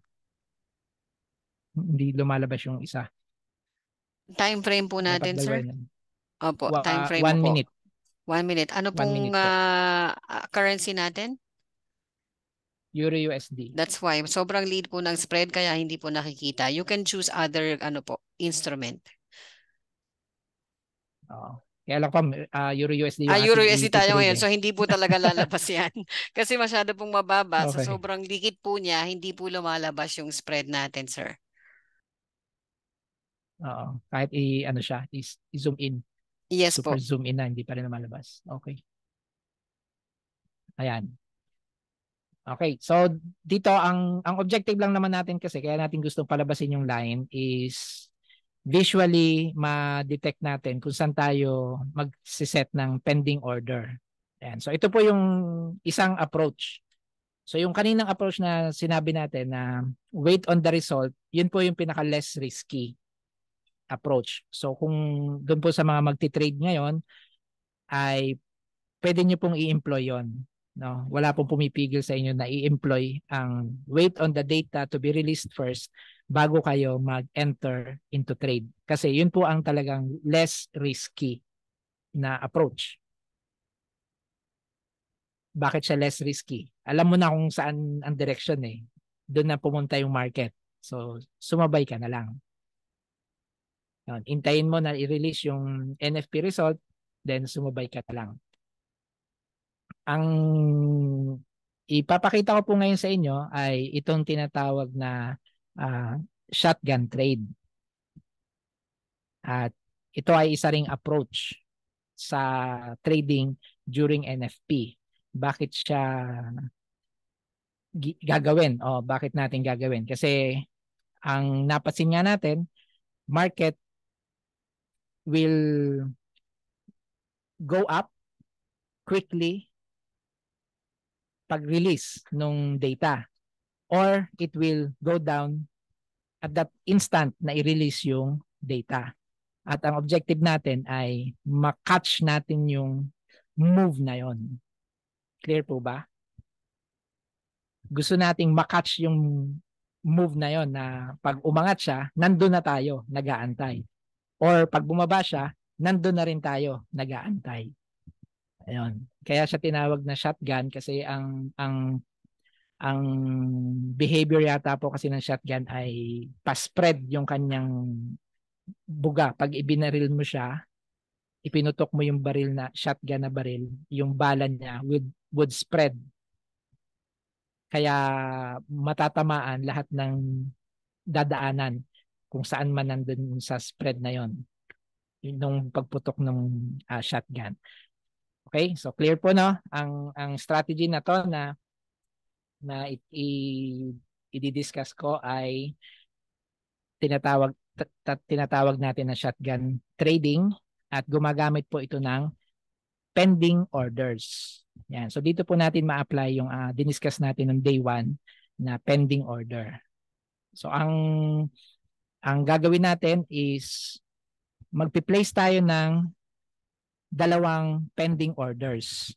Ang isang pending order natin ay buy stop at yung isa ay sell stop. Sa buy stop, dapat nakaposition siya above the current price. Kaya mahalaga na makita natin yung line. Pinilit natin palabasin. Kasi yung buy stop should be above. Yan. Dito sa taas na to. Okay? So pag um, pag naka-MT4 ka sa laptop, simple lang. Ira-right click mo yung chart, punta ka dun sa trading, and may buy stop na doon. Yun. Kaya lang dito, ang buy stop niya ay naka 1.01 lot. No? Palta natin. Ah, palta natin. So, ma- mapapaltan mo yon using the auto, auto one, one click trading. No? Paano mapalabas tong one click trading? Yung makita niyo po dito sa upper left, no? Yung sa upper left, one click trading. Ah, uh, pwede niyo pong i-press sa keyboard yung Alt T, no? Alt T, on and off po 'yon. So pag naka-on at in-alt T nyo, mag mawawala. Pag wala siya at nag-alt T kayo, ilabas siya. Ayun. So papalitan natin ng uh, 0.01. Ayun. Para pag nag-right click tayo at nag-trading tayo, ayan. So dito buy stop no. Right click, trading, buy stop. 0.01 na rin yung lot size niya. Clear po ba 'yon? Yan.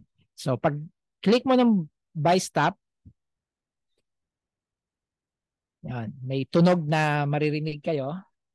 Tapos dapat lalabas diyan ang isang perforated line na kulay green. Uh, nadidelay lang po siguro. Ah, hindi. Ayaw lumabas, no? So, ang gagawin natin, check natin yung set. Ano ba tong, yan, okay. Control. Para ma-check po natin yung settings, uh, pwedeng right-click. May settings ba dito? Wala. Uh, control O. Yan, ito po yung shortcut. Control O. Pag nag-control O tayo, lalabas yung options menu. Nandun po yung uh, sa charts, no? Sa options dialog box, sa charts na, na tab, makikita nyo po dun yung show trade levels. Yun. Kasi dapat makita, nakita natin yung buy stop line natin doon. So hindi natin nakita. Kaya pala hindi natin makita kasi naka-disable ang show trade levels doon sa options chart tab. So pag na check mo na siya, click mo yung okay at yun lumabas na yung ating uh, buy stop. At makikita po po dun sa left side no extreme left ng window na buy stop siya. Yun. Buy stop, may ID siya at yung lot size nandun po.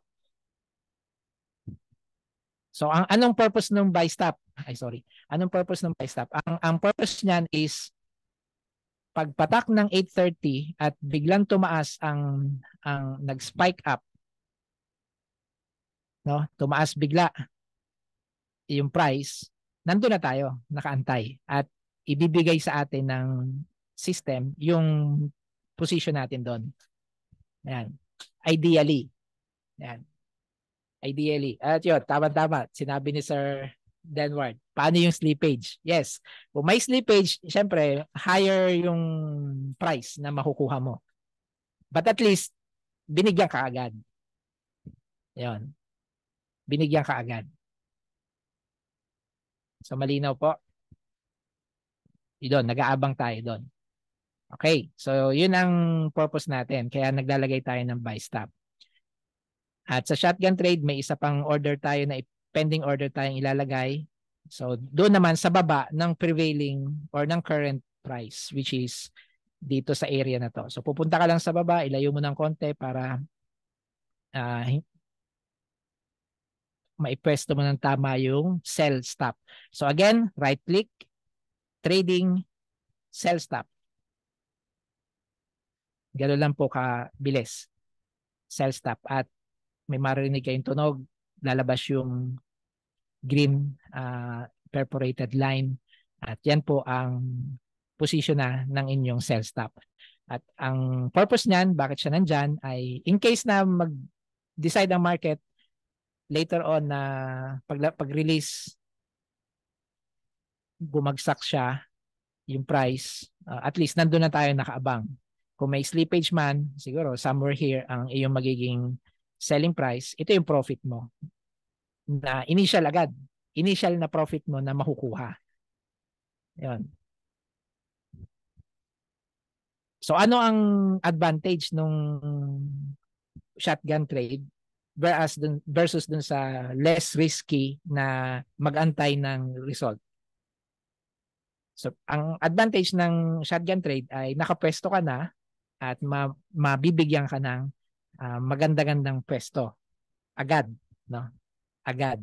'Yun ang advantage. Whereas kung kung doon ka sa una na mag-aantay ka ng result, makikita mo na uh, nandito paglabas nung the minute na nag-release ang ang data, makikita mo yung yung chart yung candle o oh, yung price naglalaro for example dito. Yan. So nag Naglalaro siya diyan.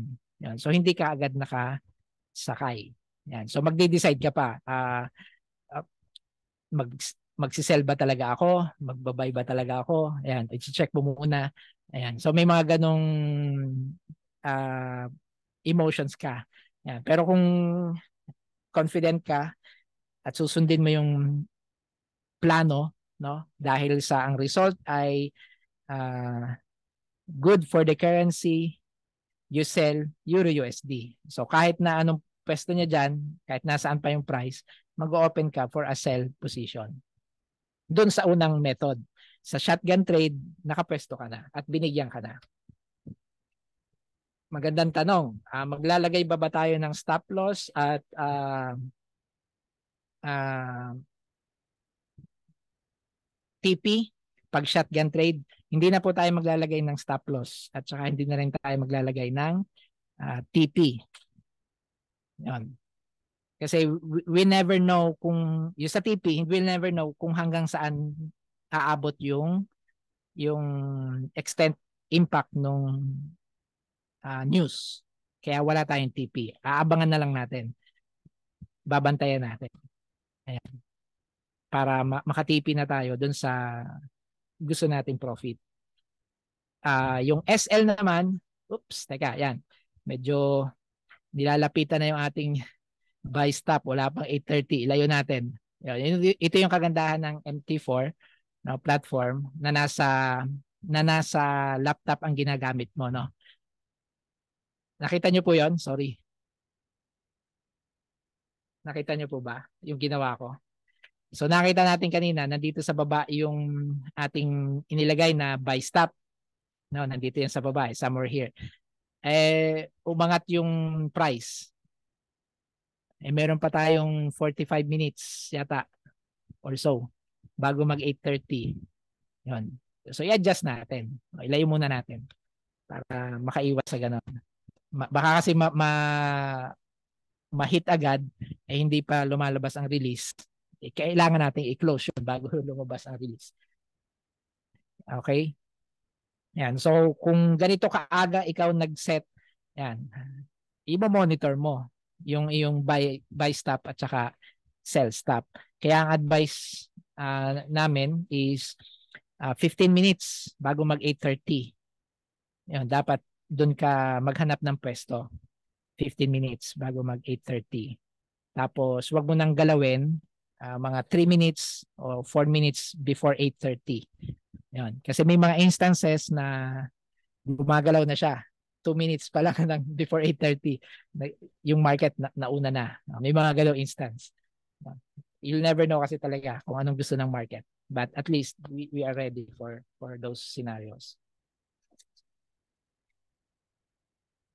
Itong ginagawa natin ay in preparation nga po, yes, Ma'am Luisa, in preparation sa trade ninyo later on. No? At ito po yung isang approach, no, Ma'am Luisa.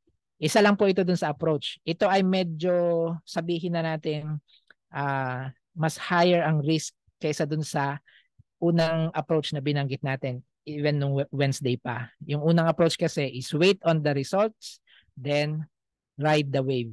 Yun ang terminology namin. Ride, mag-ride ka kung saan siya pumunta. Doon ka uh, sumakay. Yan. Itong approach na dinidiscuss natin ngayon is shotgun trade. Dalawa ang kanyang primary primary element. Magsiset ka ng dalawang buy or uh, dalawang pending order, isang buy stop at isang um, so ito po ay buy stop Yan. At isang cell stop.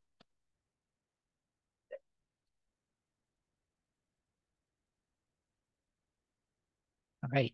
So ang position ng buy stop ay sa taas ng current price. Ang position ng sell stop ay sa baba ng current price.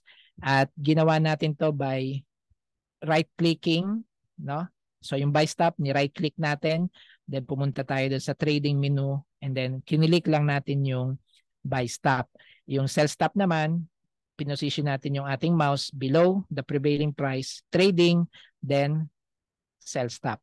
Okay, so ganun lang po kabilis. Kung may ibang paraan pa, meron pa po. Uh, pwede nyong puntahan yung uh, ano ba yun? Yan, tools, new order. Yun yung isa. Or yung third na method is i-press niyo yung F9 sa sa keyboard. Yun. So may dalawa pa palang paraan bukod sa right click, no? Yung right click kasi ang pinakamabilis. But ito pa yung pa, ibang paraan, tools, new order or F9. Yun. Para mag mag-display yung ating order window. Okay, so sa order window, yun, ganun pa rin. Yung volume mo, yun ang una mong iset. For now, uh, ah, 0.01 ang gamitin natin. Okay, wag tayo magsiset ng stop loss. Wala ring take profit sa shotgun trade. Pero yung type ng order natin ay pending order. Hindi siya market execution. Pending order. Ayan.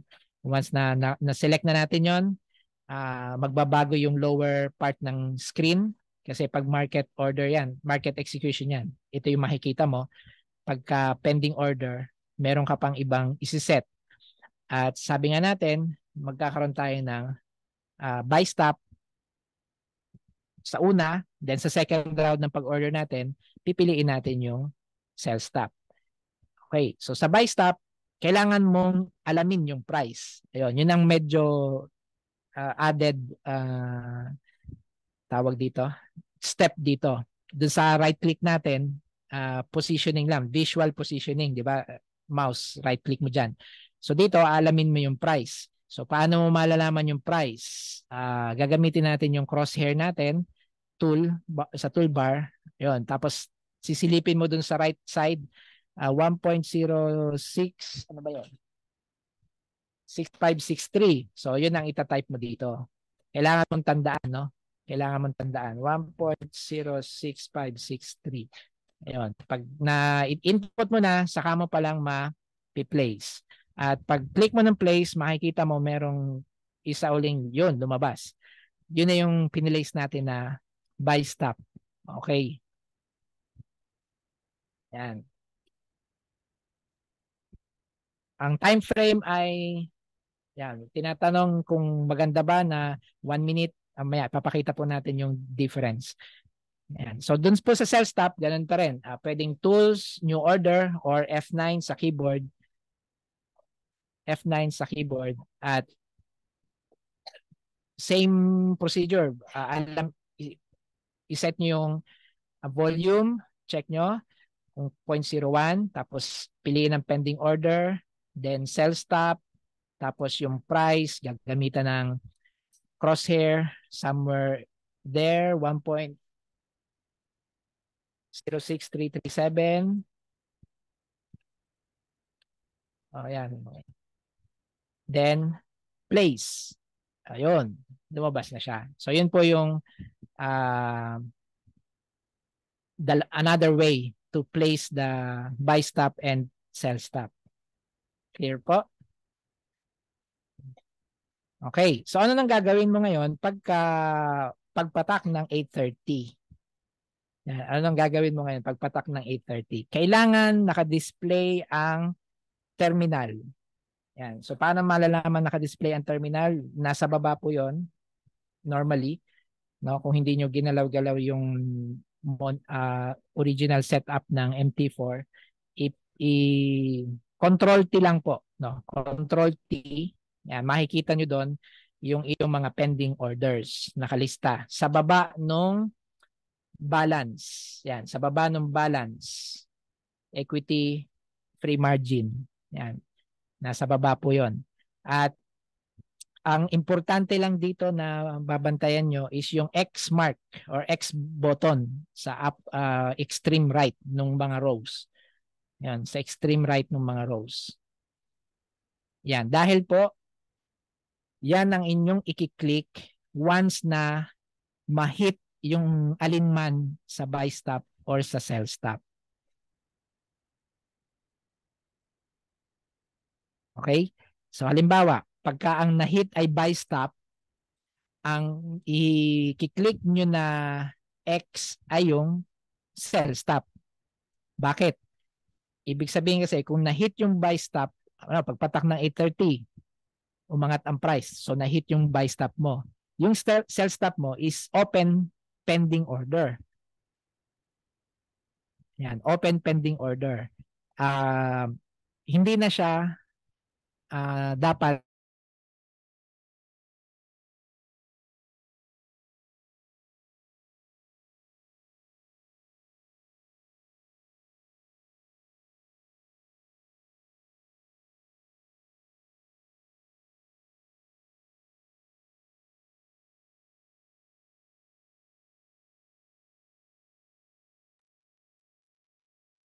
Hello, naririnig po ba ako?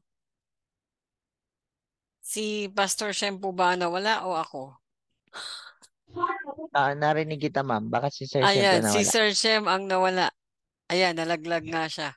Ah, hintayin natin.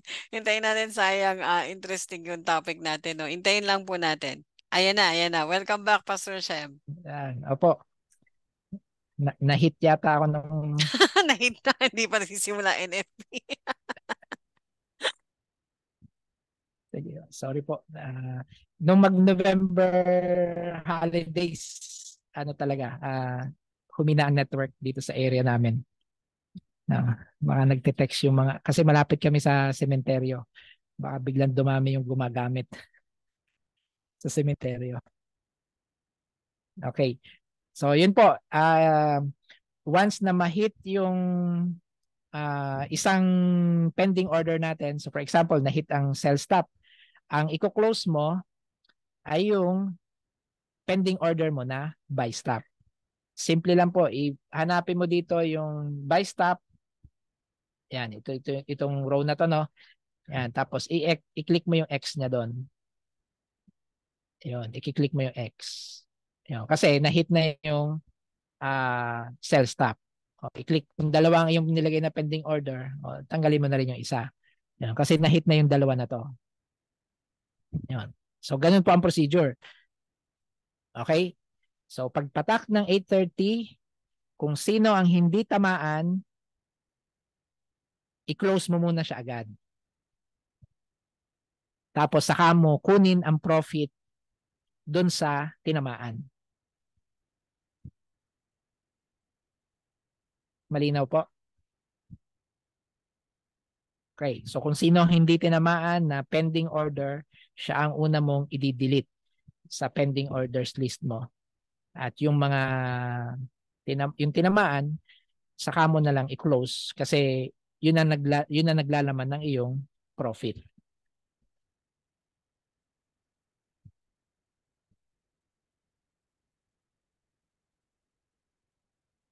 Okay, may, may question po ba doon?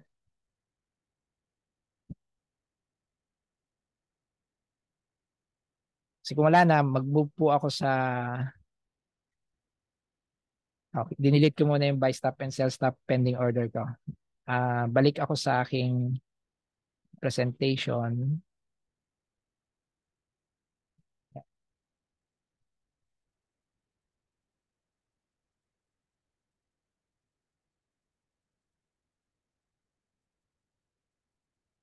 Okay, yan.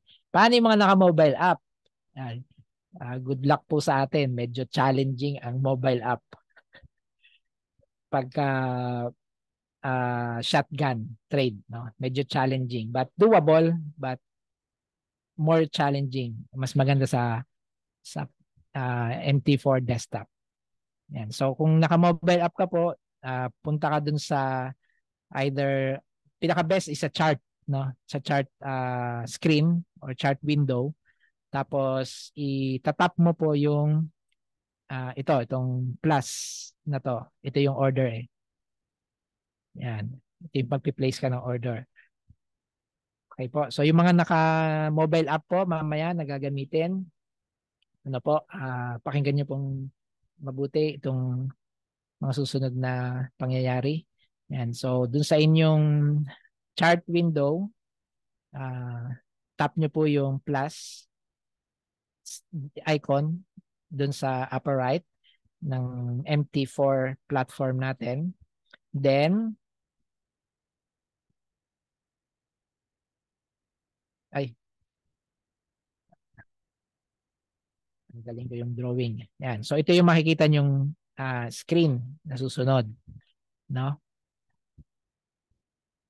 Ang ang una niyo pong titingnan is yung market execution. Yan. So dapat mapalitan po 'yan. Uh, mapapalitan natin ng your drawing. This yung annotate. Next screen. Yon. Pag tinap niyo po yon yung market execution uh, area na yon, lalabas po ang iba pang mga pwede nyong gawing orders. At kasama nga po dyan ang buy stop at ang sell stop. So, in sequence, mauna ang buy stop. Ayan. So, pag tinap or sell stop, ayan. So, alin man po ang inyong unahin, wala problema. Sa case na to yata, ang inuna ay, ano ba? Sell stop. O, sell stop ang pinili. Ayan. So, napili na yung sell stop. Ang next nyo pong gagawin, is yung lot size. Yan. Ito naka, nakalagay sa 1 eh. No? Nakalagay sa 1. So gawin yung 0.01 up, no, 0.01, 0.01. Ayun. Tapos ang sunod na gagawin nyo ay ano yung price? Ayun. Ano yung price na paglalagyan nyo? So dapat dito nakita nyo na yung challenge. Dapat pala bago ko pinres yung pinakaunang screen, alam ko na kung saan ako pupesto ng aking buy stop at saka sell stop. Yun, nakasulat na. Yun po. Tapos wala tayong ilalagay na SL. Ito kasi yung SL. Tsaka ito yung TP. So leave it as is. Tapos saka nyo i-click yung place. O it i-click, itatap yung place. Once na matap nyo na yung place, i-place niya, niya na yung order. Ayan. At makikita nyo na yung order na nilagay nyo doon sa uh, orders section doon sa trading o trade win uh, screen. Yan. Ito po yung trade screen eh. Pag tinap nyo po ito doon sa lower menu, menu icons nyo, ito pong mga list of orders nyo po, active and pending orders. Yan. So makikita nyo dun sa pending orders yung inyong sinet na sell stop sa ganong price. Yan. At nandun, ay sorry, ito pala yung price. Sell stop sa ganong price. Ito yung current price kasi pala, sorry. At ito yung lot size. Yan, ito nakaset dyan. Ngayon, paano nyo siya mali? Ibig sabihin, ay, malayo pala sobra yung 1526. Yun. Kailangan kong ilapit-lapit. Eh, yun na ang challenge. Pag kailangan mong baguhin, i-redo mo yung process. And how do you redo the process? Bale, yun, i-hold mo to, ito, ito, ito itong buong ito, i-hold mo tong order na to, tap and hold. Yan, tap and hold. Pagkatapos, ah, uh, lalabas yung menu. Yan. Ito yung ma- makikita yung menu. Kung may babaguhin lang kayo sa mga entries, modify. Yan. Modify niyo yung order. Kung altogether, i-delete nyo na siya. Like pag tinamaan, uh, halimbawa, pagpatak na 8.30, tinamaan yung buy stop, kailangan nyo na itong i-delete o i-close ang sell stop. I-hold nyo yung order na yon dahil siya lamang naman na nakalista dun sa pending orders mo. Hold, tap and hold then, select yung mo yung delete order, saka siya madidelete. Ayan. So medyo maraming steps lang pagka phone. Kaya po mas maganda na naka-laptop tayo, uh, may mouse, uh, ma- ma- mas mabilis siyang gawin. So, yan po sa phone, pag ginamit natin ang phone. Okay. At uh, yun. Basically, yun lang po yung ating uh, presentation. Punta na tayo sa mga questions siguro. Ano ba yung mga questions natin?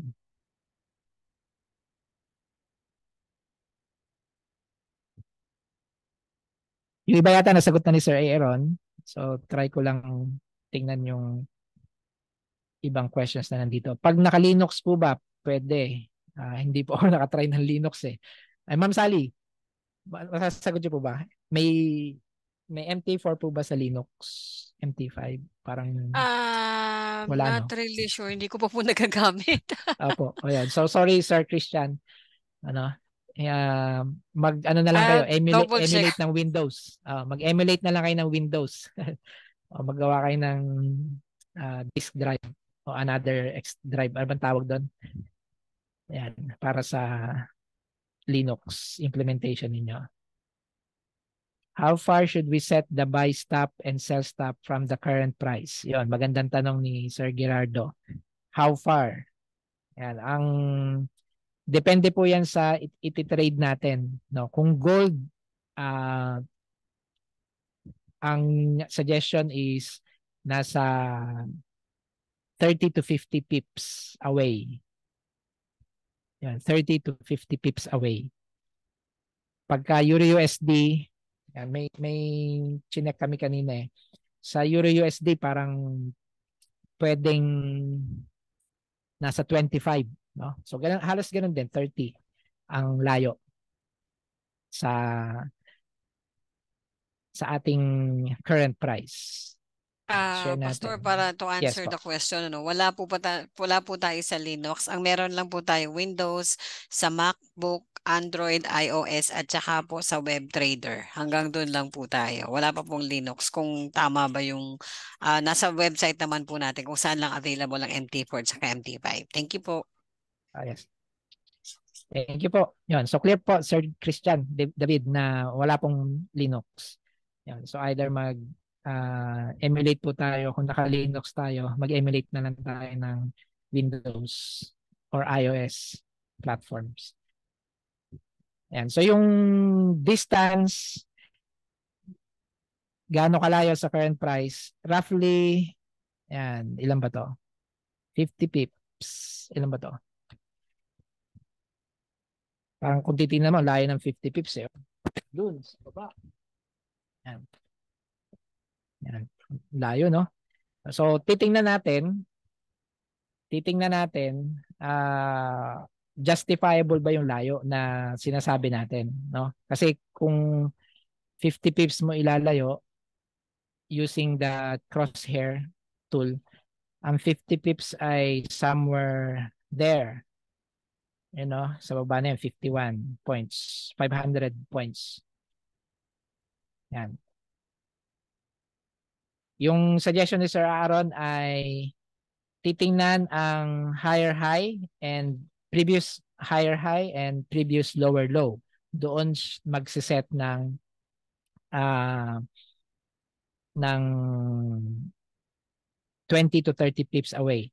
Ang nakikita po natin ngayon sa screen, hopefully, ay ganito kalayo ang 50 pips sa Euro USD current price. Yan.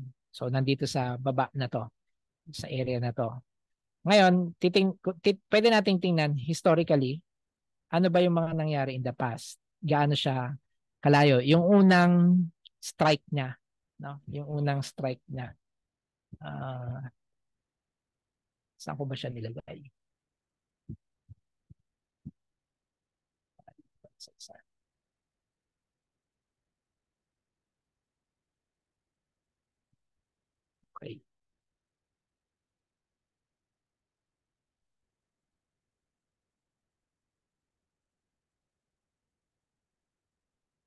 So may feature po kasi ang ating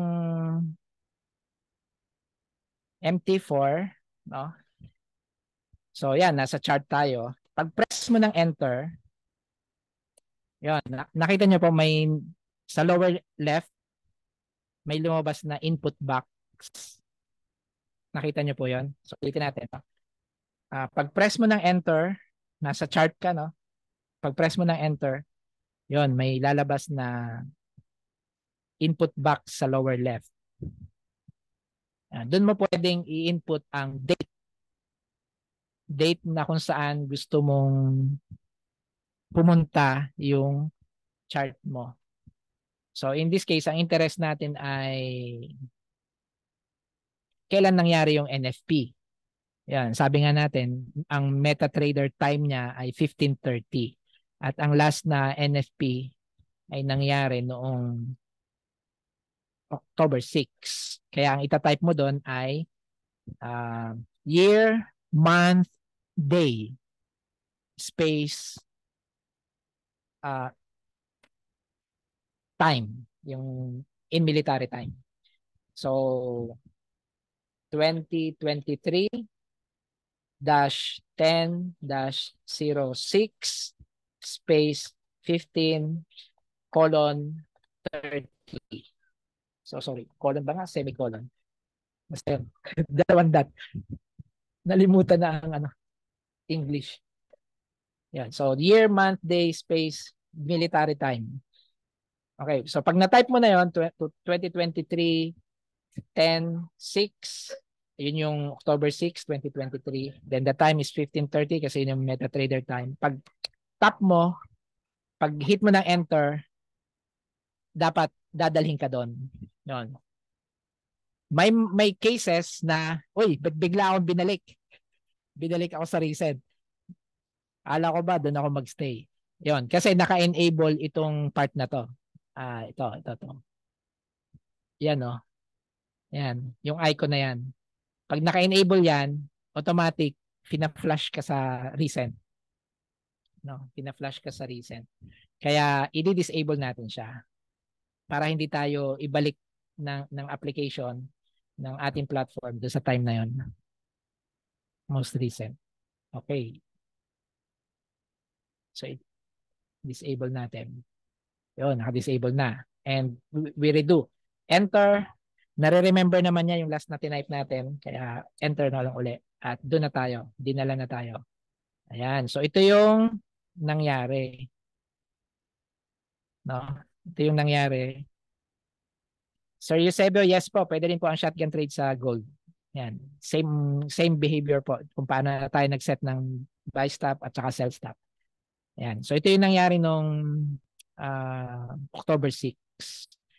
At kung titingnan natin gaano kalaki ang drop niya on the first minute.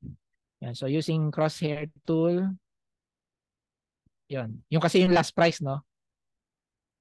Sa part na yan. Hang, ay, sorry. Para makita siguro dun sa last price prior. The candle prior to the 8.30. So ito yung candle prior to the 8.30. At hanggang dun sa dulo na yon. Ayun, 35. 300. Uh, 354. So 35 tips ang naging drop niya on the first minute. Yan. Naging drop niya on the first minute last time. Okay. So ano yung scenario niya last time? Zoom out ko pa. Yan. So yung scenario niya last time, almost uh, flat ang trading, no?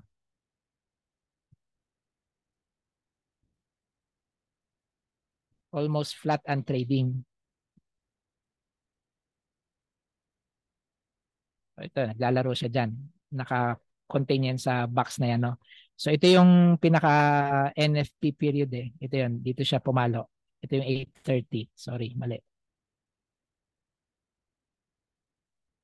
Yan, 8.30 minute.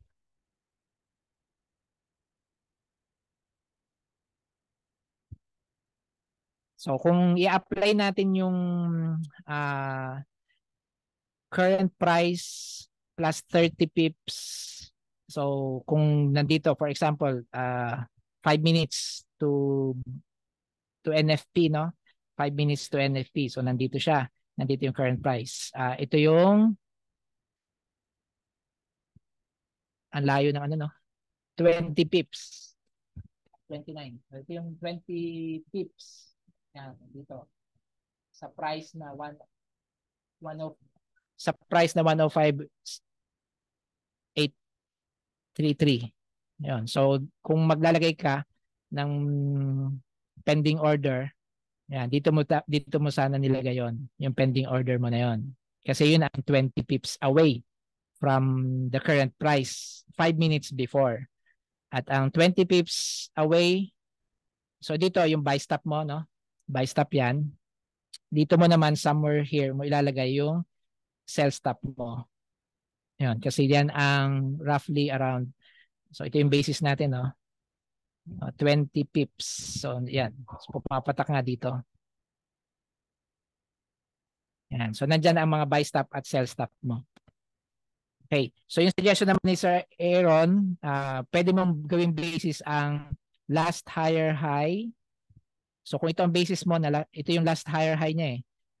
Ano? Um, doon ka kukuha ng 20 to 30 pips Yun. So doon ka sa, sa part na yon na 1.085883.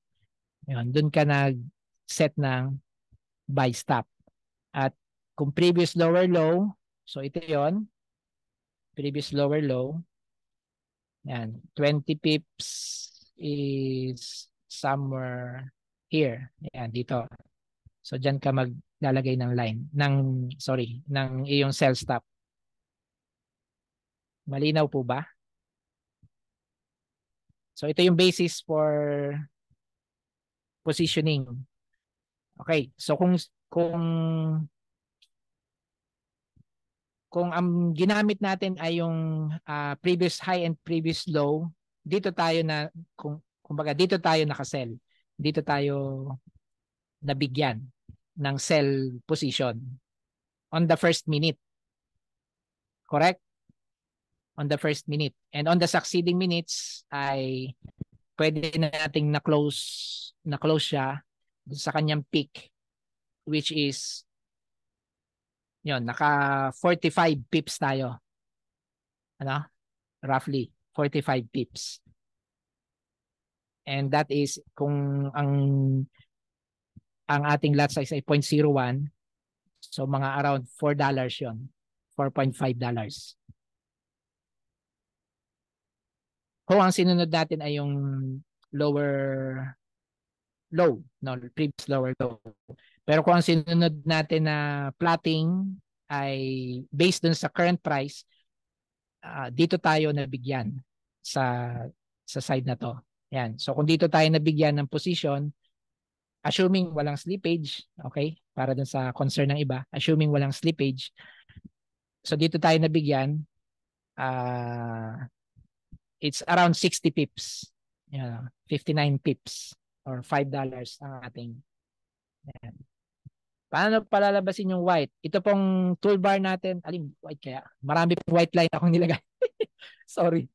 Uh, Sir Jesus, alin pong white line ang nire-refer nyo? Uh, itong, kung ito mga ito po, ito po ay line. Yan yung ating line toolbar. Yan, kung ito po mga to. Yan, line toolbar po yan. Pero kung yung kanina na kiniklik and drag ko po, crosshair po siya. Crosshair.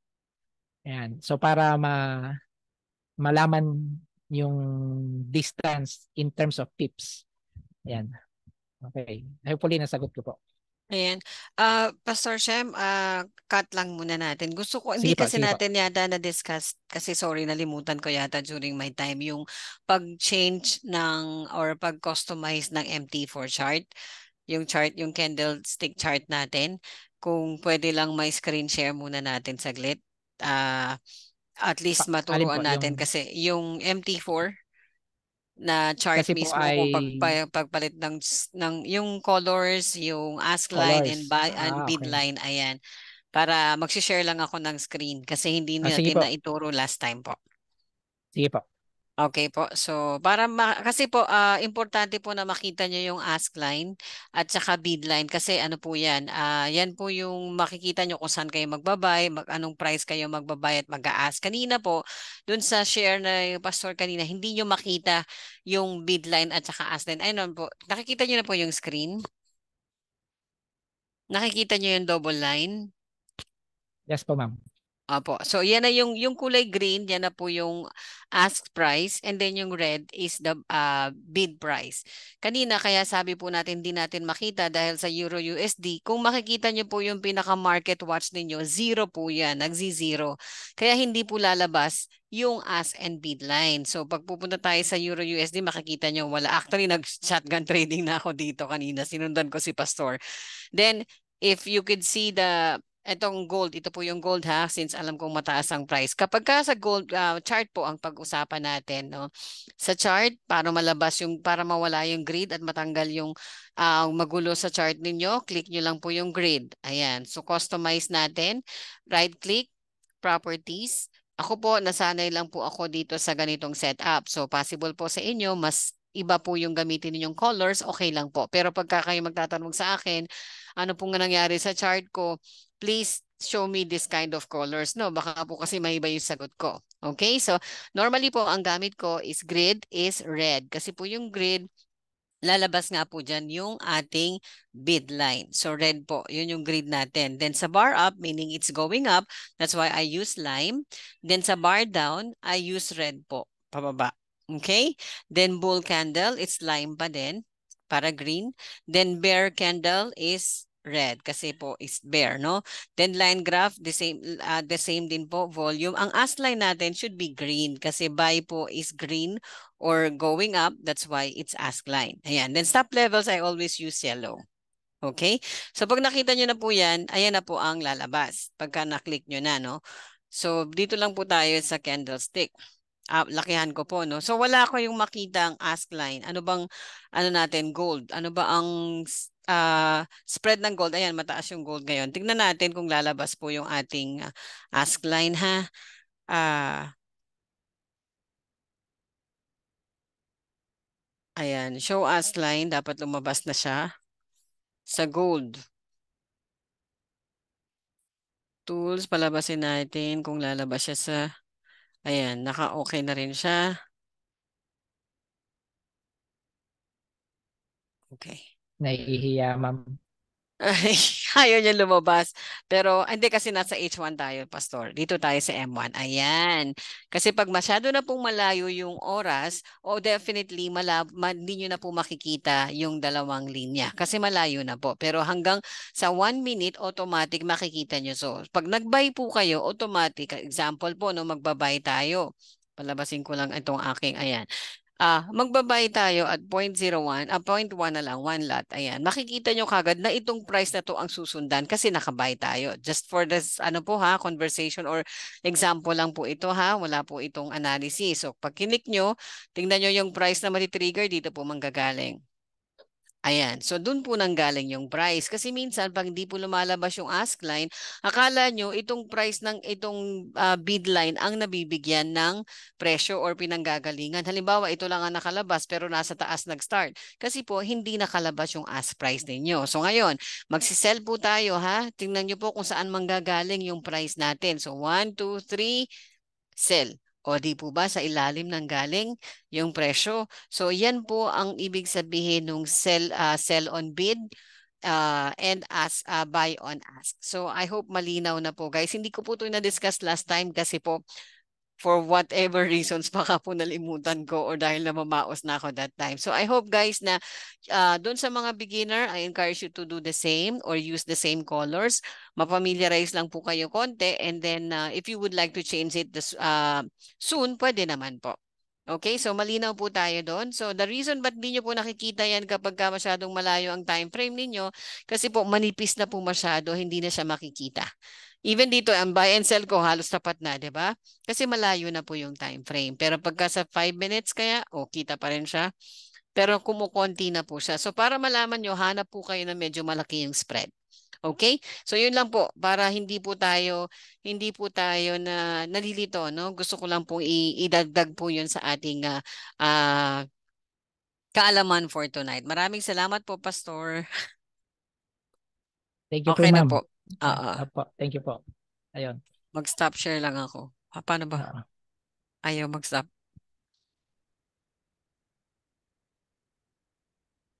May Bakit ayaw VO. mag-stop?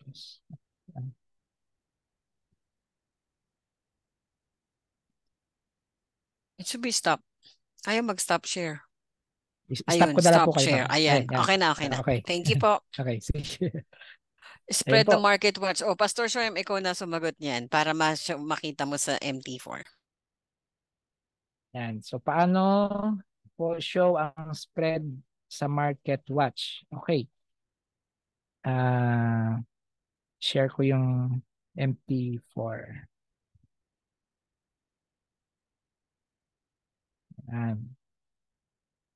So dito wala wala wala pa yung market watch window. So pwede kayong pumunta sa view toolbars, ah, sorry, view market watch. Yun, yun ang isang paraan. Ang another way is control M. Yan. So either way, may ma lalabas yung market watch window. Then para mapalabas yung spread, doon sa mga headers ng table, like yung symbol, bid, ask, doon nyo po i-place yung mouse nyo. Tapos i-right click nyo. Then meron po diyang menu na spread. Yan. Ngayon, naka-active sa akin. Kaya nandun yung spread. Pag kinilik ko po yan, mawawala siya. Yan. So makikita niyo po, bid ask na lang. Spread, uh, symbol bid ask na lang makikita ninyo. Para maibalik, right click, then click niyo yung spread. Yan. At makikita niyo po na ang label niya is exclamation point. But the spread is there. At ang spread po niyan ay in points. Ang value po niyan ay in points. Hindi po yan pips. So yung spread ng uh, Euro USD ay 16. Kasi po itong account ko ay classic. Sa demo account na to. Classic. Kaya 16. Yung kanina siguro ni, ni na pinakita ni ma'am, kaya 0 yon ay dahil pro account siya. Yun. So yung nagtanong kanina na pro versus classic, yun ang isang difference. No? Sa, sa pro, umaabot na mag-zero for Euro USD. No, mag-zero ang spread. Sa classic, yan, siguro pinakamababa na itong 1.6 pips or 16 points. Sa demo account lang, wala po ba ZAO? Meron po. Ito po yung ZAO USD. Ah, yan, gold.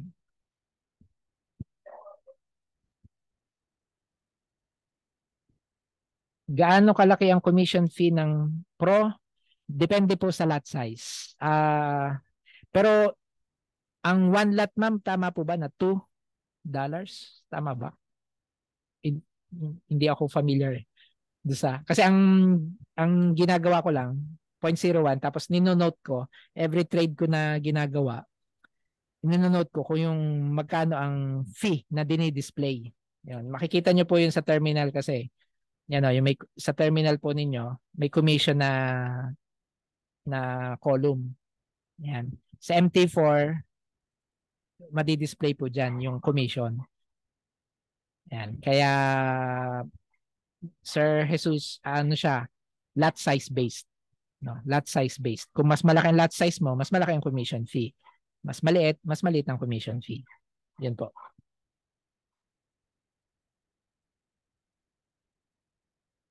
Ma'am Luisa, ano po yung time frame na tanong nila?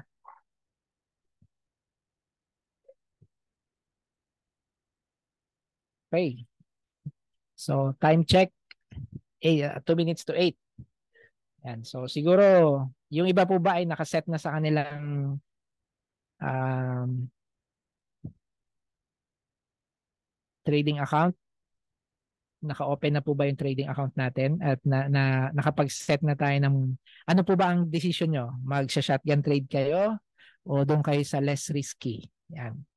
So, nasa inyo po ang decision kasi sa inyo pong account yan eh. Piniresent lang po namin ang mga options. Yan. So, pwede po kayong mag doon sa less risky. Uh, huwag kayong maglagay ng trade position, uh, open pending orders, no? Wag, wag kayong maglagay. Hintayin nyo ang dumating ang 8:30 saka kayo mag-trade. Yan. Or pwede kayong sumabay sa uh, pending orders sa shotgun trade. Magsiset tayo ng pending orders. Okay, so again, sa pagsiset natin ng pending orders, sa mas ma-challenge sa cellphone, sa mobile app, pero dito sa ating uh, MT4 platform sa desktop, napakadali kasi visually, ilalagay mo lang yung mouse sa taas ng prevailing price na nakikita natin yung uh, line na to, ng price line. Sa taas, doon ka maglalagay ng trading buy stop. Ayun. Pag click mo nun, automatic, mapopwesto na siya doon. Sa baba, doon mo ilalagay ang iyong sell stop. Right click, then trading, then sell stop. At malalagay na siya doon. Ngayon, uh, yung layo, uh, pwede mo i-compute uh, 20 to 30 pips ang layo gamit ng crosshair sa prevailing price. Yan. I malayo pala yung 20, no? Yan. So, na doon sa baba. Click natin doon. Click and drag somewhere there. Yan.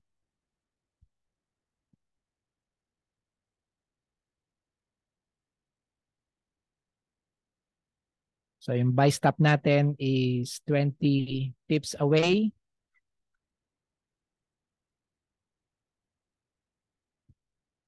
Yun, dun sa parte na yun, no? Yan, dun sa taas na yun. So click and drag natin. Estimate na lang. Yan.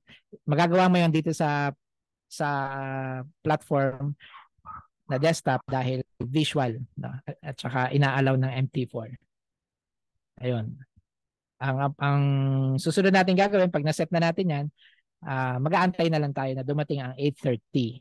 Pagpatak ng 8:30 at tinamaan yung ating buy stop, pupunta tayo dun sa ating pending orders dito sa area na to sa baba at ating i-delete yung naiwan na sell stop. Pero pagka ang tinamaan ay yung ating sell stop, ang ating i-delete ay yung buy stop. At ang ang iintayin natin na profit ay yung naiwang trade na tinamaan. Yan.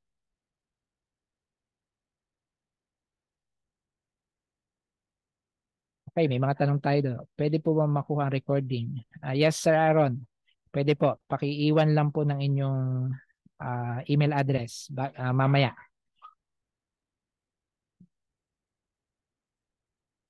Kung activated na order, kailan naman mag-close ng trade or mag-TP? Yan. Ang tanong ni Sir Gerardo ay, halimbawa, may active order ka. Yan. So for example, for some reason, ah, sa pagmamadali mo, sobrang excitement ay napa-sell order ka. Yan. So napa-sell order ka. Ito yung active order mo. Yan. So meron tayong active order dito. Kailan daw magko-close? Pagpatak ng 8:30 at ah, nag-spike up 'yan, oh, definitely ah, nasa losing end ka po. Kasi naka-sell position ka na. Inunahan mo ng market. Ayun. Kaya nga po ang decision natin, ah, wag ka muna maglagay. Yun ang pinaka-best. Hintayin mo. Yun ang pinaka-less risky na lumabas ang result. Kasi pag napalagay na nga yung pending, ay yung order mo, active na siya, hindi mo alam eh kung saan pupunta. Buti kung nakasell ka, tapos pumunta sa, ah, nag-drop yung price. So yun, at least, kuha mo yung, ito, to, itong, itong, yung iba nakaabang, pero ikaw, nandun ka na. No? So kuha mo lahat yan. Profit mo yan. Eh, paano nga kung, oh, yun, ito yung pinuntahan. Oh, lo, automatic, kuha mo lahat ng loss. Yun. Yun ang iniiwasan natin. Kaya as much possible, wag tayo maglalagay ng order prior to the mag to the news. Yun. So i-close na natin yung order na to. Baka ma- makagulo pa sa atin mamaya eh. Asa na yan?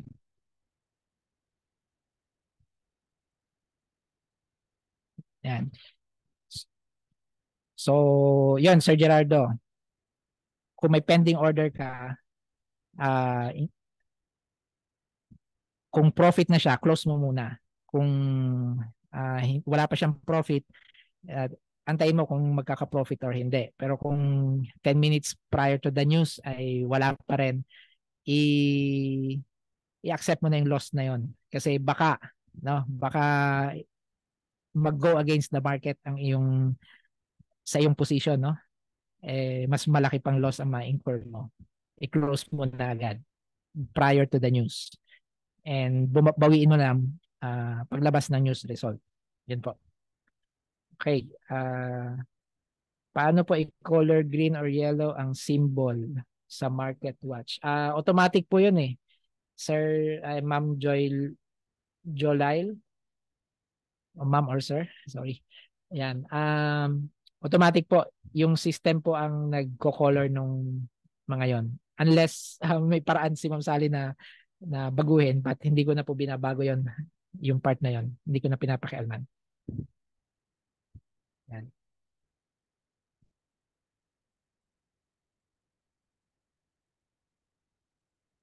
Yan. Ma'am Luisa, ano po ang i-trade sa time frame sa 8:30? M1 ba? Yan. Sa M1 po ay makikita niyo yung extent ng extent ng galaw. 'Yon. Ngayon kung kung ayaw niyo po na ma- magulat, ilagay niyo po sa mas mataas na time frame. Yan, for example, ilagay niyo sa M5. Yan, para medyo yung visibility nyo ah hindi ganong ka bigla yung pag shoot up or pag drop ng price. Yan. Ang kaibahan nga lang po ng M5 sa M1 is bago mabuo yung candle, mag-aantay kayo ng 5 minutes. Ayun. So hindi nyo makikita kung ah, hindi nyo agad makikita yung galaw ng candles. Ang candle dito, for 5 minutes, tataas, baba lang yon tataas, baba. Yan. Hindi nyo alam kung magpupush ba dire-diretso. Yan. Sa 1 minute, yan, makikita nyo, uh, every minute. Yun. Nagre-register siya ng candle. So makikita mo kung pababa siya, yun. Second minute, third minute, fourth minute, alam makikita mo po. Mm.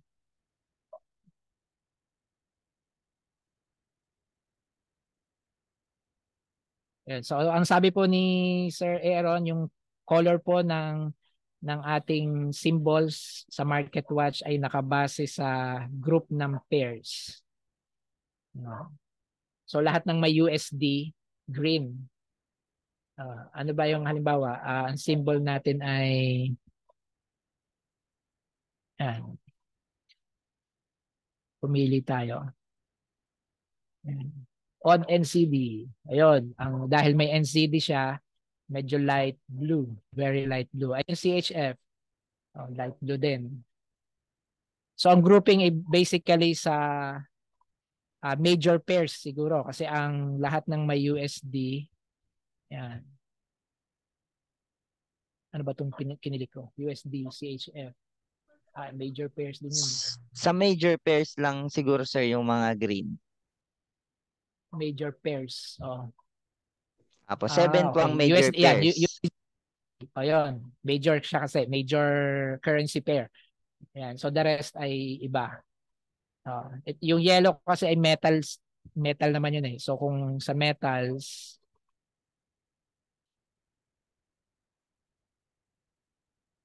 Saan ba yung metals dito?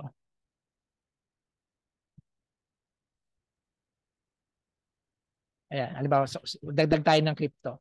Ayun, so yung mga crypto kulay dark o gold, uh, orange, meron. Color blind na. Ayan. So yun yun ang grouping. Uh, sir, sabi ni Sir Aaron, doon sa nagtanong kanina.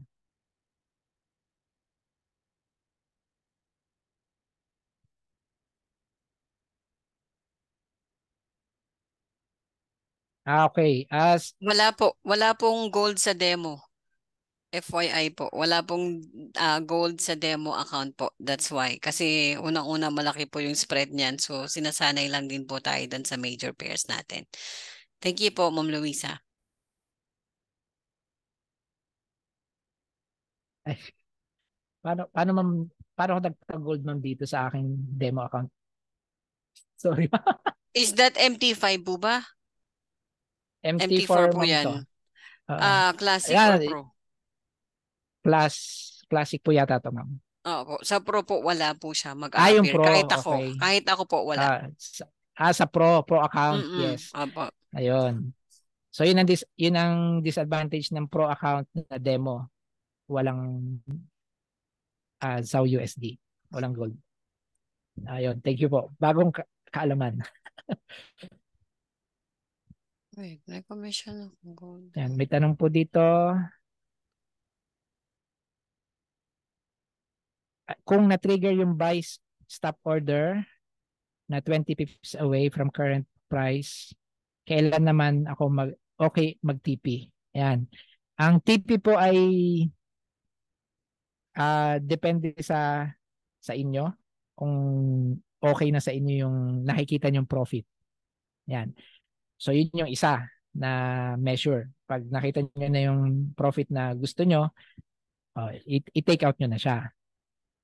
Yung isang isang measure is gamitin natin yung sa technical aspect. Yon. So for example, uh, buy stop. For example, yun na trigger. So titingnan natin yung structure ng chart natin. So ilayo pa natin, no? H1. Yan. So, yung H1, no?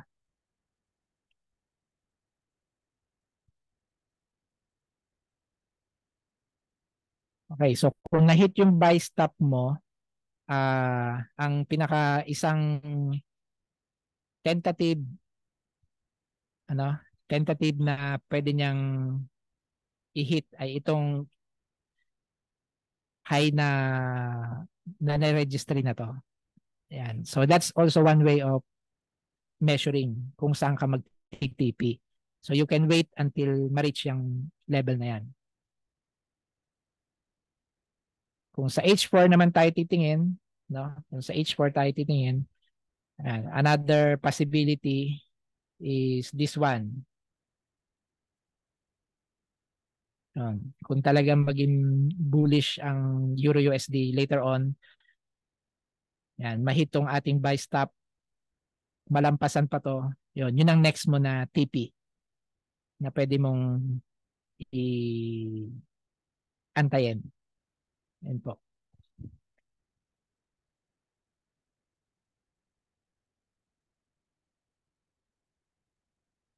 Pastor, correction So, po. Baka hindi, Yes, yes. sorry, sorry po. Ah, baka kasi hindi mailabas ni Ma'am Luisa sa Market Watch. Click lang po, right click, then show all, lahat ng instrument. Nasa bottom line po, medyo medyo mababa po yung gold. Nag-double check po ako, pro account available po ang gold. Sorry for that. Ayan po. Basta i-show all and then ah, makikita niyo po sa bandang ilalim. Ayan po, hindi na-demonstrate na ni Pastor Shem. Show all sa Yeah, right market list. Ayan po. So, Ayan po. Makikita niyo po dyan yung gold, Ma'am Luisa. Ayan. Practice lang po natin sa demo account lahat ah, for navigation para hindi po kayo mahirapan pag nag-actual actual na po tayo. Salamat po. ang yun, para mawala naman yung iba, pwede nyo isa-isaing i-hide or hide all. Ang may iwan lang ay yung may mga chart window na instruments. Yan po. So, Sir Gerard, okay po yan ah, yung kung saan tayo magti-TP.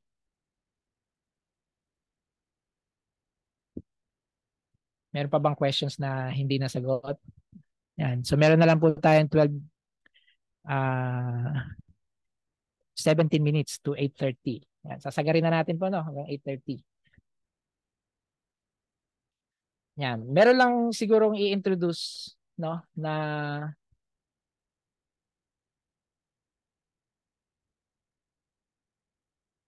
tool. Nandito ba yun? Ayan. Okay. So, may isa pong indicator na magagamit natin sa MT4 and even sa MT5 kung mag-MT5 kayo later on. Yung tinatawag nating uh, remaining time for the candle to solidify. Ayan. So, ito po yung uh, available. Pwede nating ibigay sa inyo na pag kinilik and drag mo dun sa chart, yan, so lalabas yung settings, i-okay mo lang. Yan, accept it as is. Tapos nakikita nyo po, may lalabas doon. Yan, 4505 kasi naka 4 hours tayo time frame, ano, 4 hour time frame. Magbabago po 'yan pag binaba mo sa uh, 1 hour time frame. Yan. 44 minutes remaining. Yan, kasi naka 12:15 na tayo eh. Oh, ibig sabihin naka 15 pala, 8:15 na. So 45 45 minutes remaining na lang. Kung nasa ang time frame mo ay 15 minutes, 'yon. Yung candle ngayon na nakikita natin, yung last candle, you need 14 more minutes para ma-complete siya. Kung ikaw ay bababa sa 5 minute candle, yon yung candle na yan, yung gumagalaw-galaw sa line na yan, ayun, ay you need you you have 4 minutes pa and 10 seconds to wait bago siya ma-complete. Yan, maganda po itong tool na to para ma makita nyo kung uh, mag sa mga nag ano to kasi to eh, yung scalping, no, yung mga approach nila ay gusto nila sabayan yung palitan ng oras. Minsan kasi uh, for example ngayon, 'di ba? Uh, pataas siya. Pagpalit ng oras, pab- puro pababa naman. 'Yun. So puro sell ka doon. Yan. Tapos pag pag turn uli ng uh, the hour magpapalit na naman ang ang gusto ng market, puro buy. May mga ganung behavior po ang market. So nangyayari yan uh, one hour time frame or four hours time frame. Ayun. So kaya po natin tinitingnan yung iba interested dun sa remaining hours kasi sasabayan nila yung yung palit ng oras na yon. Ayun.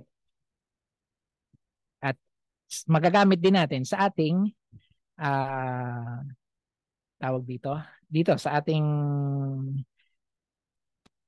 NFP yon habang nag-aantay tayo ng oras gaano pa katagal so sa sa 5 minutes natin ano, sa 1 hour time frame natin, oh, ano ba? Sa 30 minutes na lang pala kasi yung first half. Oh, 12 minutes na lang, no. We need 12 minutes. We will wait 12 minutes more bago dumating ang 8:30. My questions? Yan. Ano ba ang questions? Sir, sa MT5 po, bakit hindi po ako maka-place ng order? MT5.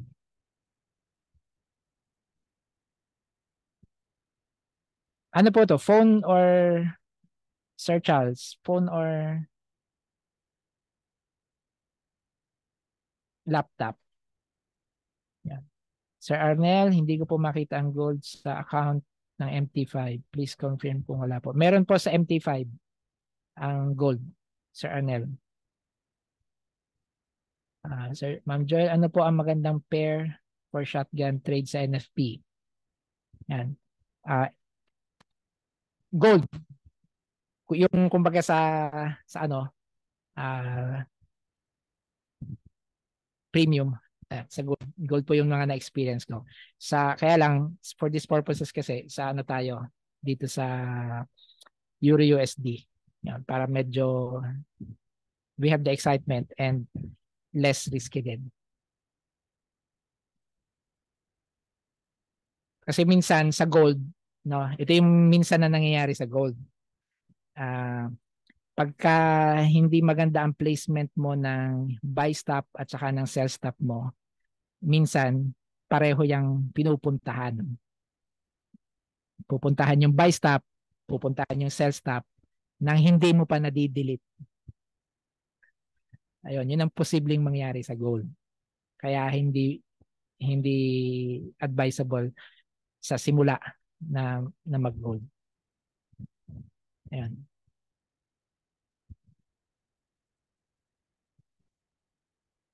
Ma'am Luisa, ano pong i-right click yung sa market watch? Yan. So sa laptop po, um, hindi maka-place ng order, uh, wala po ba dun sa Sir Charles, dun sa tools, ano bang, ah, kasi ano, MT5 po kayo, no? O dun din po sa tools, new order. Ano pong nakalagay sa screen nyo?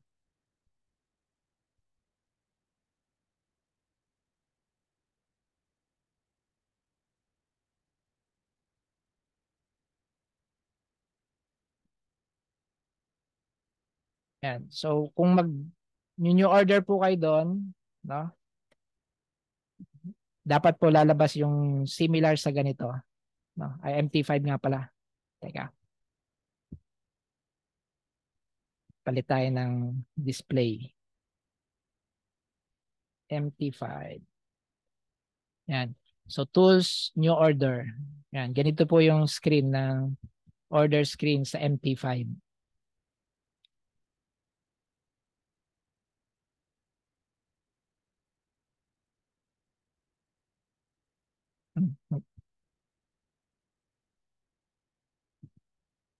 Ganito rin po ba nakikita nyo, Sir Charles?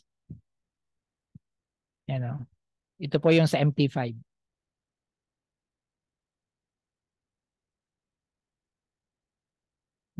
Yung sa MT5 po na, na, na nakikita nyo, bukod sa candle time ay meron din tayong naka-display na spread. No?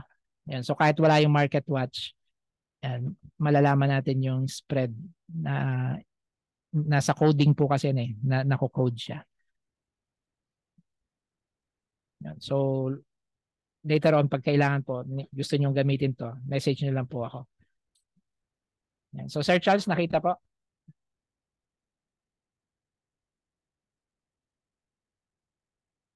Ah, okay. So nag-place kayo ng buy stop, hindi niyo makita yung line. Malamang hindi niyo po makita yung line. Yung katulad kanina na nangyari. Hindi makita yung line. Uh, punta po kayo sa yan, control O pa rin po. No, mag-control O po kayo para lumabas ang options. Baka hindi lang po niyo nakita yung line. Uh, show trade levels. Yun. Kailangan po naka-activate yung show trade levels po ninyo. Another way para makita po yung orders kung na-place ay sa terminal or toolbox. Toolbox palang tawag dyan sa ano natin. Toolbox. Sir Charles. Doon sa mga naka-MT5, toolbox po yung uh, doon naka-list ang mga orders natin, ang, ang mga active and pending orders. Yan, dyan po natin makikita. Sa MT4 ay terminal. Okay, so either hindi po nag-registry dun sa Sir Charles, dun sa toolbox nyo, or naka-disable ang inyong trade levels. So para lumabas po yung trade levels, uh, right click, pwede po kayo mag right click tapos i-click nyo yung trade levels na menu dun sa mga options. Yan. Kasi kung magpi-place po tayo din ng uh, buy stop, ayun o, lumalabas naman po siya eh. Lalabas po yan talaga. Yan. So kung so dalawang pwedeng pagtingnan dun sa ating trade uh, sorry, sa trade tab, trade tab sa toolbox natin, lalabas siya. O kung hindi natin makita yung line, right click, trade levels. Yon. Pagka naka-enable po yon lalabas. Pag naka-disable, wala po yung draggable perforated line natin. Ayun. Pagka naka-enable po yung trade levels, yan, makikita nyo po yung green na yon.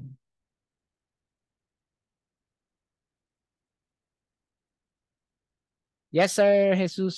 Ang 20 pips ay distance sa present price. That's one way of uh, computing yung layo ng buy stop at saka ng sell stop. Another way of computing the distance is yung suggestion ni Sir Aaron. Tingnan nyo kung nasaan ang um, higher high and lower low. Doon kayo magsimula ng computation. Yun. But pag yun ang ginamit po natin, mas malayo yon and mas safe. Yan. Yun po yung kapalit naman nun eh. Mas safe siya. Kasi kung titingnan nyo po, uh, pakita ko po yung nangyari dito sa ating terminal. Yan. Kanina, sinet natin na 20 pips yung buy stop natin. Away. Uh, imagine niyo po, saka pagdaan ng mga minuto, lumapit na pala yung current price sa kanya. Ayan. So napakalaki na po ng chance niya na halimbawa, mag-spike lang ng konti si si Euro USD by 8.30, pwedeng ma-hit yung aking buy stop pero ang ang market pala papunta ng sell, magsi-sell. No, magsi-sell kasi good for US uh, good for US. Yun. So ang pag naka-base ka po dun sa current price, ang iyong method idadrag mo siya from time to time para lumayo. Yan. Ganun po. Pero kung naka-base ka dun sa highest ayon kanina lower higher high and lower low medyo safe ka doon no medyo safe ka doon yes previous high and previous low po and yan so ang ang method ko po dito ay uh, yung ating reference ay current price kaya mayat maya nating babaguhin. Yan. So siguro okay na yan. Yung layo na yan. Excited na po tayo. We have uh, 3 minutes and 36 seconds to NFP. Ma'am Sally, meron po ba kayong mga quotes dyan for encouragement? yeah. Uh, noong unang, noong unang ba-experience ko to pinagpapawisan talaga ako. Oh, at least po Oh, ah, kasi po ano, ah, na-experience ko rin yan Pastor Shem. Actually kaya ako natawa kanina dahil ah, sabi ko nga po sa inyo, ang ginag pag nung nagtut nung beginner pa rin po ako, umaattend ako at least 9 o'clock po yun dati no na inaattend namin. Makati area pa po yung office. So inaabot po kami ng sobrang kaba tapos hindi makakain kasama naman yung dinner doon sa training. But still, hindi kami makakain dahil nga po sa non-farm payroll. And then ah, dumating yung time na ako na po yung nagte-training, pati ako kabado na hawa ko dun sa mga estudyante or sa mga trainees na sila po hindi maintindihan kung magsi-CR ba sila, pinagpapawisan na, yung iba naiiyak na or wag na lang daw sila mag-trade. Ano may mga ganong klase ng experience.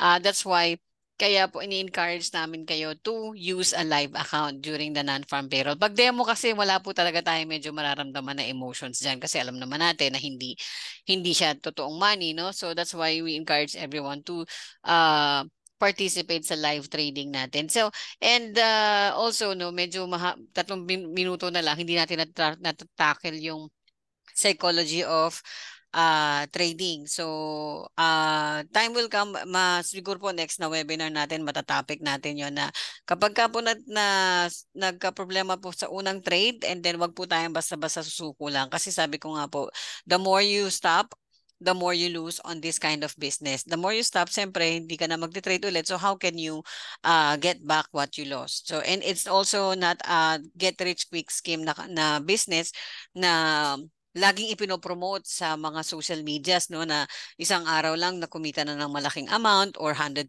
yung profit no sa isang araw or more pa doon sa kanilang mga trade. So wag po tayong basta-basta maniniwala. That's why we do this kind of training para po ma-inform lahat at maging aware at makaiwas na rin po na scam sa scam. Remember yung first uh, first webinar natin, 90 billion po pesos ang nakuha or ang amount na na-allocate na and na-report na na-scam for the past 10 years. So sayang naman po kung pati tayo ay eh, masasama pa doon. We've been a victim and uh, sabi nga, wag na nating ulitin. That's why we continue uh, having this free webinar para po uh, at least mat matutunan po natin. So we only have one minute. So better we check the uh, chart na po ngayon. So Pastor Shem? Apo, naka-share yung chart ko. Yes po. Ayan, thank you po. Ayan. So mukhang nag-settle down na yung price, yung mga yung market. Ayan, so mayroon na lang tayong 25 seconds. Ang susunod po na non-farm, Sir Julius, ay next month na uli. Next first Friday. So kung anong date man yun sa December, paki-check na lang po. 13 seconds. 10. So again, pag tinamaan ang buy stop, i-delete natin yung sell stop bago mag-take profit. Pag tinamaan ng sell stop, i-delete natin yung buy stop, saka natin yan, gumalaw na siya. So, mukhang buy. Yan. So, tinamaan yung buy, buy natin, no? So, i-delete ko na yung sell stop. Kasi, hindi natin gustong dalawa ang kanyang puntahan. Doon sa mga nag-antay, no? Doon sa mga nag-antay na na ma-release ang data, yan, it's now your time to set a buy order. Yan. So yung mga may buy stop, nakapwesto na sila, pwede na silang mag-exit. Yan. So limbawa, naka $1 na tayo. Yan. So pwede na kayo mag-exit kung satisfied na kayo dyan. Yan. At yung kaninang tanong ni sir na kung saan siya uh, magtitipi, yun, lakihan natin. Yan. So tumama na siya dun sa unang target natin, no? Yung kanina na tinitingnan. So nandun na siya. Sorry. Masyadong Ayun no. Inabot niya na itong line na to. Although hindi siya kasi straight. Ayan. Inabot niya na yung isa. So pwede nang kung technically um, pick na siya on this period. Uh, ano tawag nga dito, sir? Pag nag-close to ay, Sir Aaron, ang tawag dito ay break of structure na ba to o change of character? Mukhang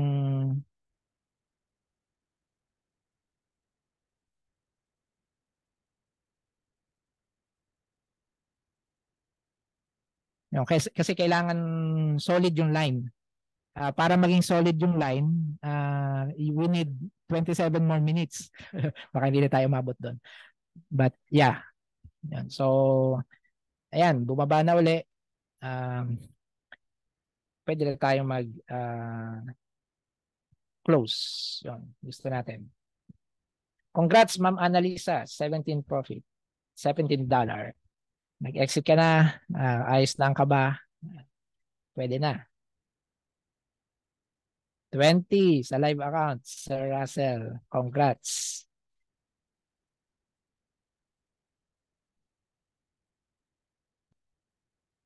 Yan.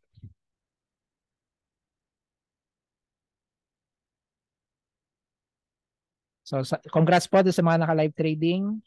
Yay, No? congratulations po. Ayan, to the moon daw yung kay Abby. Ah, to the moon. Laki siguro ng lot size niya. Ayan. So, ang, ang NFP po ay nagsisimula pa lang, no? Ayan. Ako, ibig sabihin, uh, pwede yung, yung iba, pwede yung i-maintain ang inyong buy order. Ayan. But, again, be cautious kung kung saan kayo nadaanan sa buy stop nyo. Uh, dito mag-a-apply yung tinuro ni Sir Aaron na pwede kayo mag-set ng sell ng SL dun sa inyong uh, position kanina yung sa buy stop position para ma-BE kayo, yung break even. May nagtanong kanina nun eh. So, after ma-hit, saka lang ilalagay yung SL. Yun, para break even, at least hindi kayo na na loss. Yun po. Kasi ngayon bumababa eh bumababa sa Euro USD. So, yung interested sa makita yung chart ng gold. Yan. So, ito yung tinakbo ng gold. Yun. Kaya gustong gusto nila sa gold, no? Dahil tumakbo siya ng medyo malaki. Yan, no? Magkano ba to? Yan, for example, nandito yung 20 pips niya. O yan, no? Malaki nga umabot ng 95 tips ang kanyang uh, peak in just 3 second uh, 3 minutes, 4 minutes, 95 pips. Malayo na tayo dun sa kaninang prevailing price, no? Yun. Kaya Opo, 1,000, running 1,000 na yung profit ko. Ayan, sa demo account po yan sa gold. yeah. Congrats, ma'am. Oo. Oo. Yun. So, Si Sir Julius, 175. Ayan. Congrats po. Ah, kay Sir Eduardo Ursu Ursula ba? Ursu Urs Urs ano ba? Ursal, sorry. Ah, hindi daw naka-order kasi not enough money. Possible po na masyadong malaki yung lot size natin, Sir Eduardo. That's why uh, hindi po pumasok yung order ninyo at uh, kakaunti na lang po yung ating free margin. So, please double check po yung lot size as much as possible, especially if we are beginners. We encourage po sa 1,000, uh, 1, uh, 0.01. Um, I will also send saan ba? Sa G, no, no, no. I will share it, Pastor Shem, with you para ma-share sa FBG yung ating lot size computation kung magkano lang. Depende dun sa account natin sa or capital natin para ma-post natin sa FBG. Sayang po yeah. yung ating ano para at the same time ano po yun risk management and discipline din po para sa atin. Okay? Ayan. So, so yung, guys, si Sir Julius oh, sige po, po. Uh, sorry, take ko na yung opportunity kay Sir Julius. Sure po, sure po. 175 daw, daw yung kinita niya. Uh, kung nag-GCash po kayo ng deposit, real time pwede niya siyang i-withdraw. Kung hindi pa kayo naka-avail nung uh, ah, 20% bonus. Yan. Ibig sabihin, sa inyo na yan talaga. Tama po ba? Di ba? Ganun yan. Yes po. Basta po available uh, kung let's say GCash kayo nag-withdraw, then hmm. pwede po kayo right away mag, mag uh, ay sorry, pag GCash kayo nag-deposit, pwede kayo right away mag-withdraw uh, using GCash. GCash din po. And uh, that's uh, real time. Real time, yes. Yes po. Real time. Congrats po Sir Julius.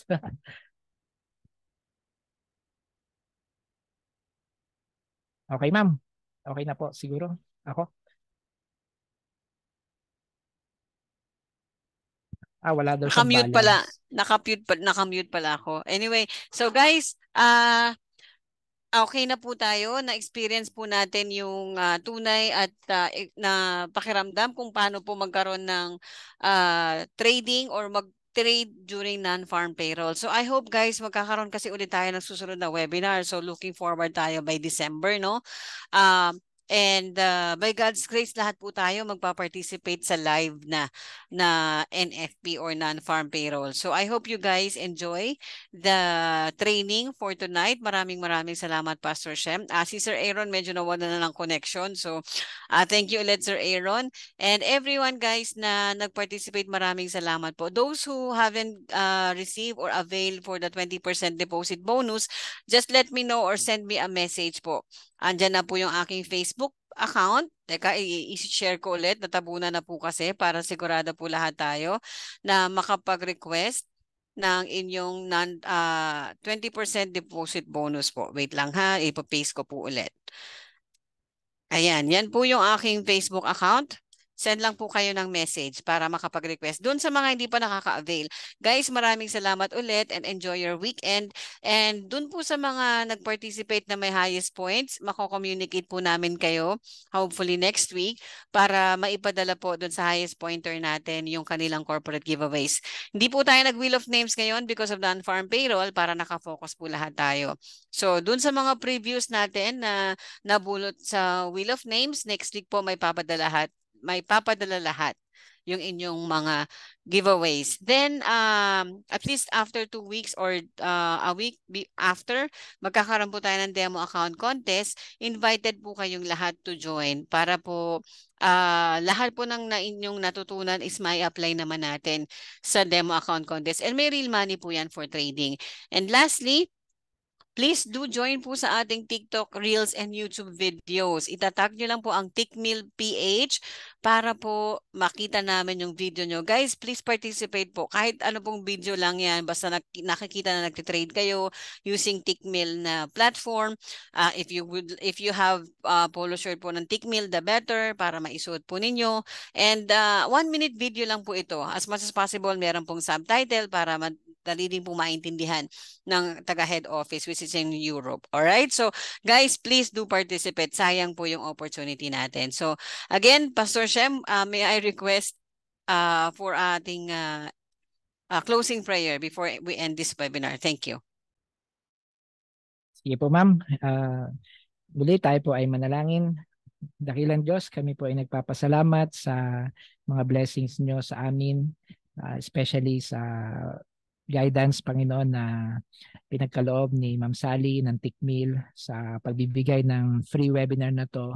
Lahat, Panginoon, ng mga natutunan namin ay tulungan mo po kami na ma-apply ito at magamit namin ang knowledge na to para mabigyan ka namin ng kapurihan sa pagtupad ng aming mga pangarap, Lord God. At nawa, Lord, ay bigyan mo kami ng uh, magandang kalusugan, ang aming mga relasyon sa aming mga kasambahay, sa mga kapamilya ay patuloy mo pong buklurin at magamit namin ang forex trading upang lalo namin silang mapasaya sa sa kanilang mga pangangailangan ay makatugon kami at magamit namin itong opportunity na to na magkaroon kami ng isang source of income na hindi bounded ng ng location, hindi bounded Panginoon ng uh, oras anytime ay magagamit namin upang makapag-provide kami. At tunay Panginoon na turuan mo kami at i-guide mo kami Panginoon kung paano namin to mapapalago as our source of income at mabigyan ka ng kapurihan Panginoon. Pas maraming salamat Panginoon. Pagpalain mo po ang Tikmin, pagpalain mo po si Ma'am, Ma'am Sally. Nawa Panginoon ay patuloy mo siyang bigyan ng magandang kalusugan, magabayan niyo kaming lahat, Lord, ang bawat isa sa amin at ma-assist kami sa aming mga pangangailangan sa forex journey namin na ito. Sa iyo namin, Lord, ibinabalik ang lahat ng papuri at pagsamba. Maraming maraming salamat po. In Jesus' name, Amen. Amen. Amen. Thank you so much po, Pastor Shem. And thank you so much, everyone. To those who would like to request for the recording ng ating webinars, please chat your uh, email addresses po sa chat box natin. And again, sabi ko nga po, uh, sa advanced training po natin, uh, those who have registered accounts po sa Tickmill, sila lang po yung pwede nating mabigyan. And dun po dun sa beginners, lahat naman po can be sent po or magkakaroon ng ating uh, uh, beginners training na recorded webinar. Again, lahat po ng meron pong registered account or registered client ng Tickmill, doon po natin maisisend yung ating webinar na recordings. Okay? So again, I uh, will be waiting for your uh, email addresses guys or you can send it sa email sa PM po sa uh, Facebook kung hindi niyo po ma-send dito. All right? So again, thank you so much. See you on the next webinar. Pastor, maraming maraming salamat. Kumita po ang is- iba sa ating mga kliyente, yung iba po eh um, medyo nag nag-stop or yung iba po is nag-watch at yung iba po ay nag-demo account. And at least ang importante naranasan po nila yung non-farm payroll tonight. So again, thank you so much guys kung uh, kung meron pa po kayong mga concerns, uh, Pastor Shem, you could also paste your Facebook account. Baka po kay need nila para may mga questions sila at least, no? So, basta send lang po kayo ng message sa akin para if any case na gusto nyo makausap si Pastor Shem. Okay? So guys, wala nang hahabol para mai ano na po natin, mai-end na po natin yung webinar. Ayan, best training so far compared in 2022. Salamat po, Sir Alderico Chavez. Ayan, you're welcome po. Walang perang aking account, madam. Sir, nasa wallet, baka nasa wallet nyo pa lang po ang inyong money, hindi nyo pa na-transfer sa trading account. Possible po yon. Go to your client area, then USD wallet, transfer sa depo or transfer sa isang trading account kung naka-create na po kayo. Baka yun lang po yung reason, Sir Eduardo. Okay. Pastor, uh, if you could uh, send a message kay uh, Sir Eduardo so you could assist. Baka nga po may problema doon sa account niya. Uh, opo. opo. Sir Eduardo, pa ko po yung aking Facebook ac Yes, account. opo. Mm -hmm. Ayan, Sir Rico, Uh, thank you so much for attending. Ayan, so nagbigay na ng Facebook account si Pastor Sam. Please message him po doon sa kanyang Facebook account. All right, guys, so let's have dinner and enjoy your weekend with your family. Have a good night po and enjoy your weekend. Goodbye. God bless po everyone. God bless. Bye-bye. Bye-bye po, Pastor.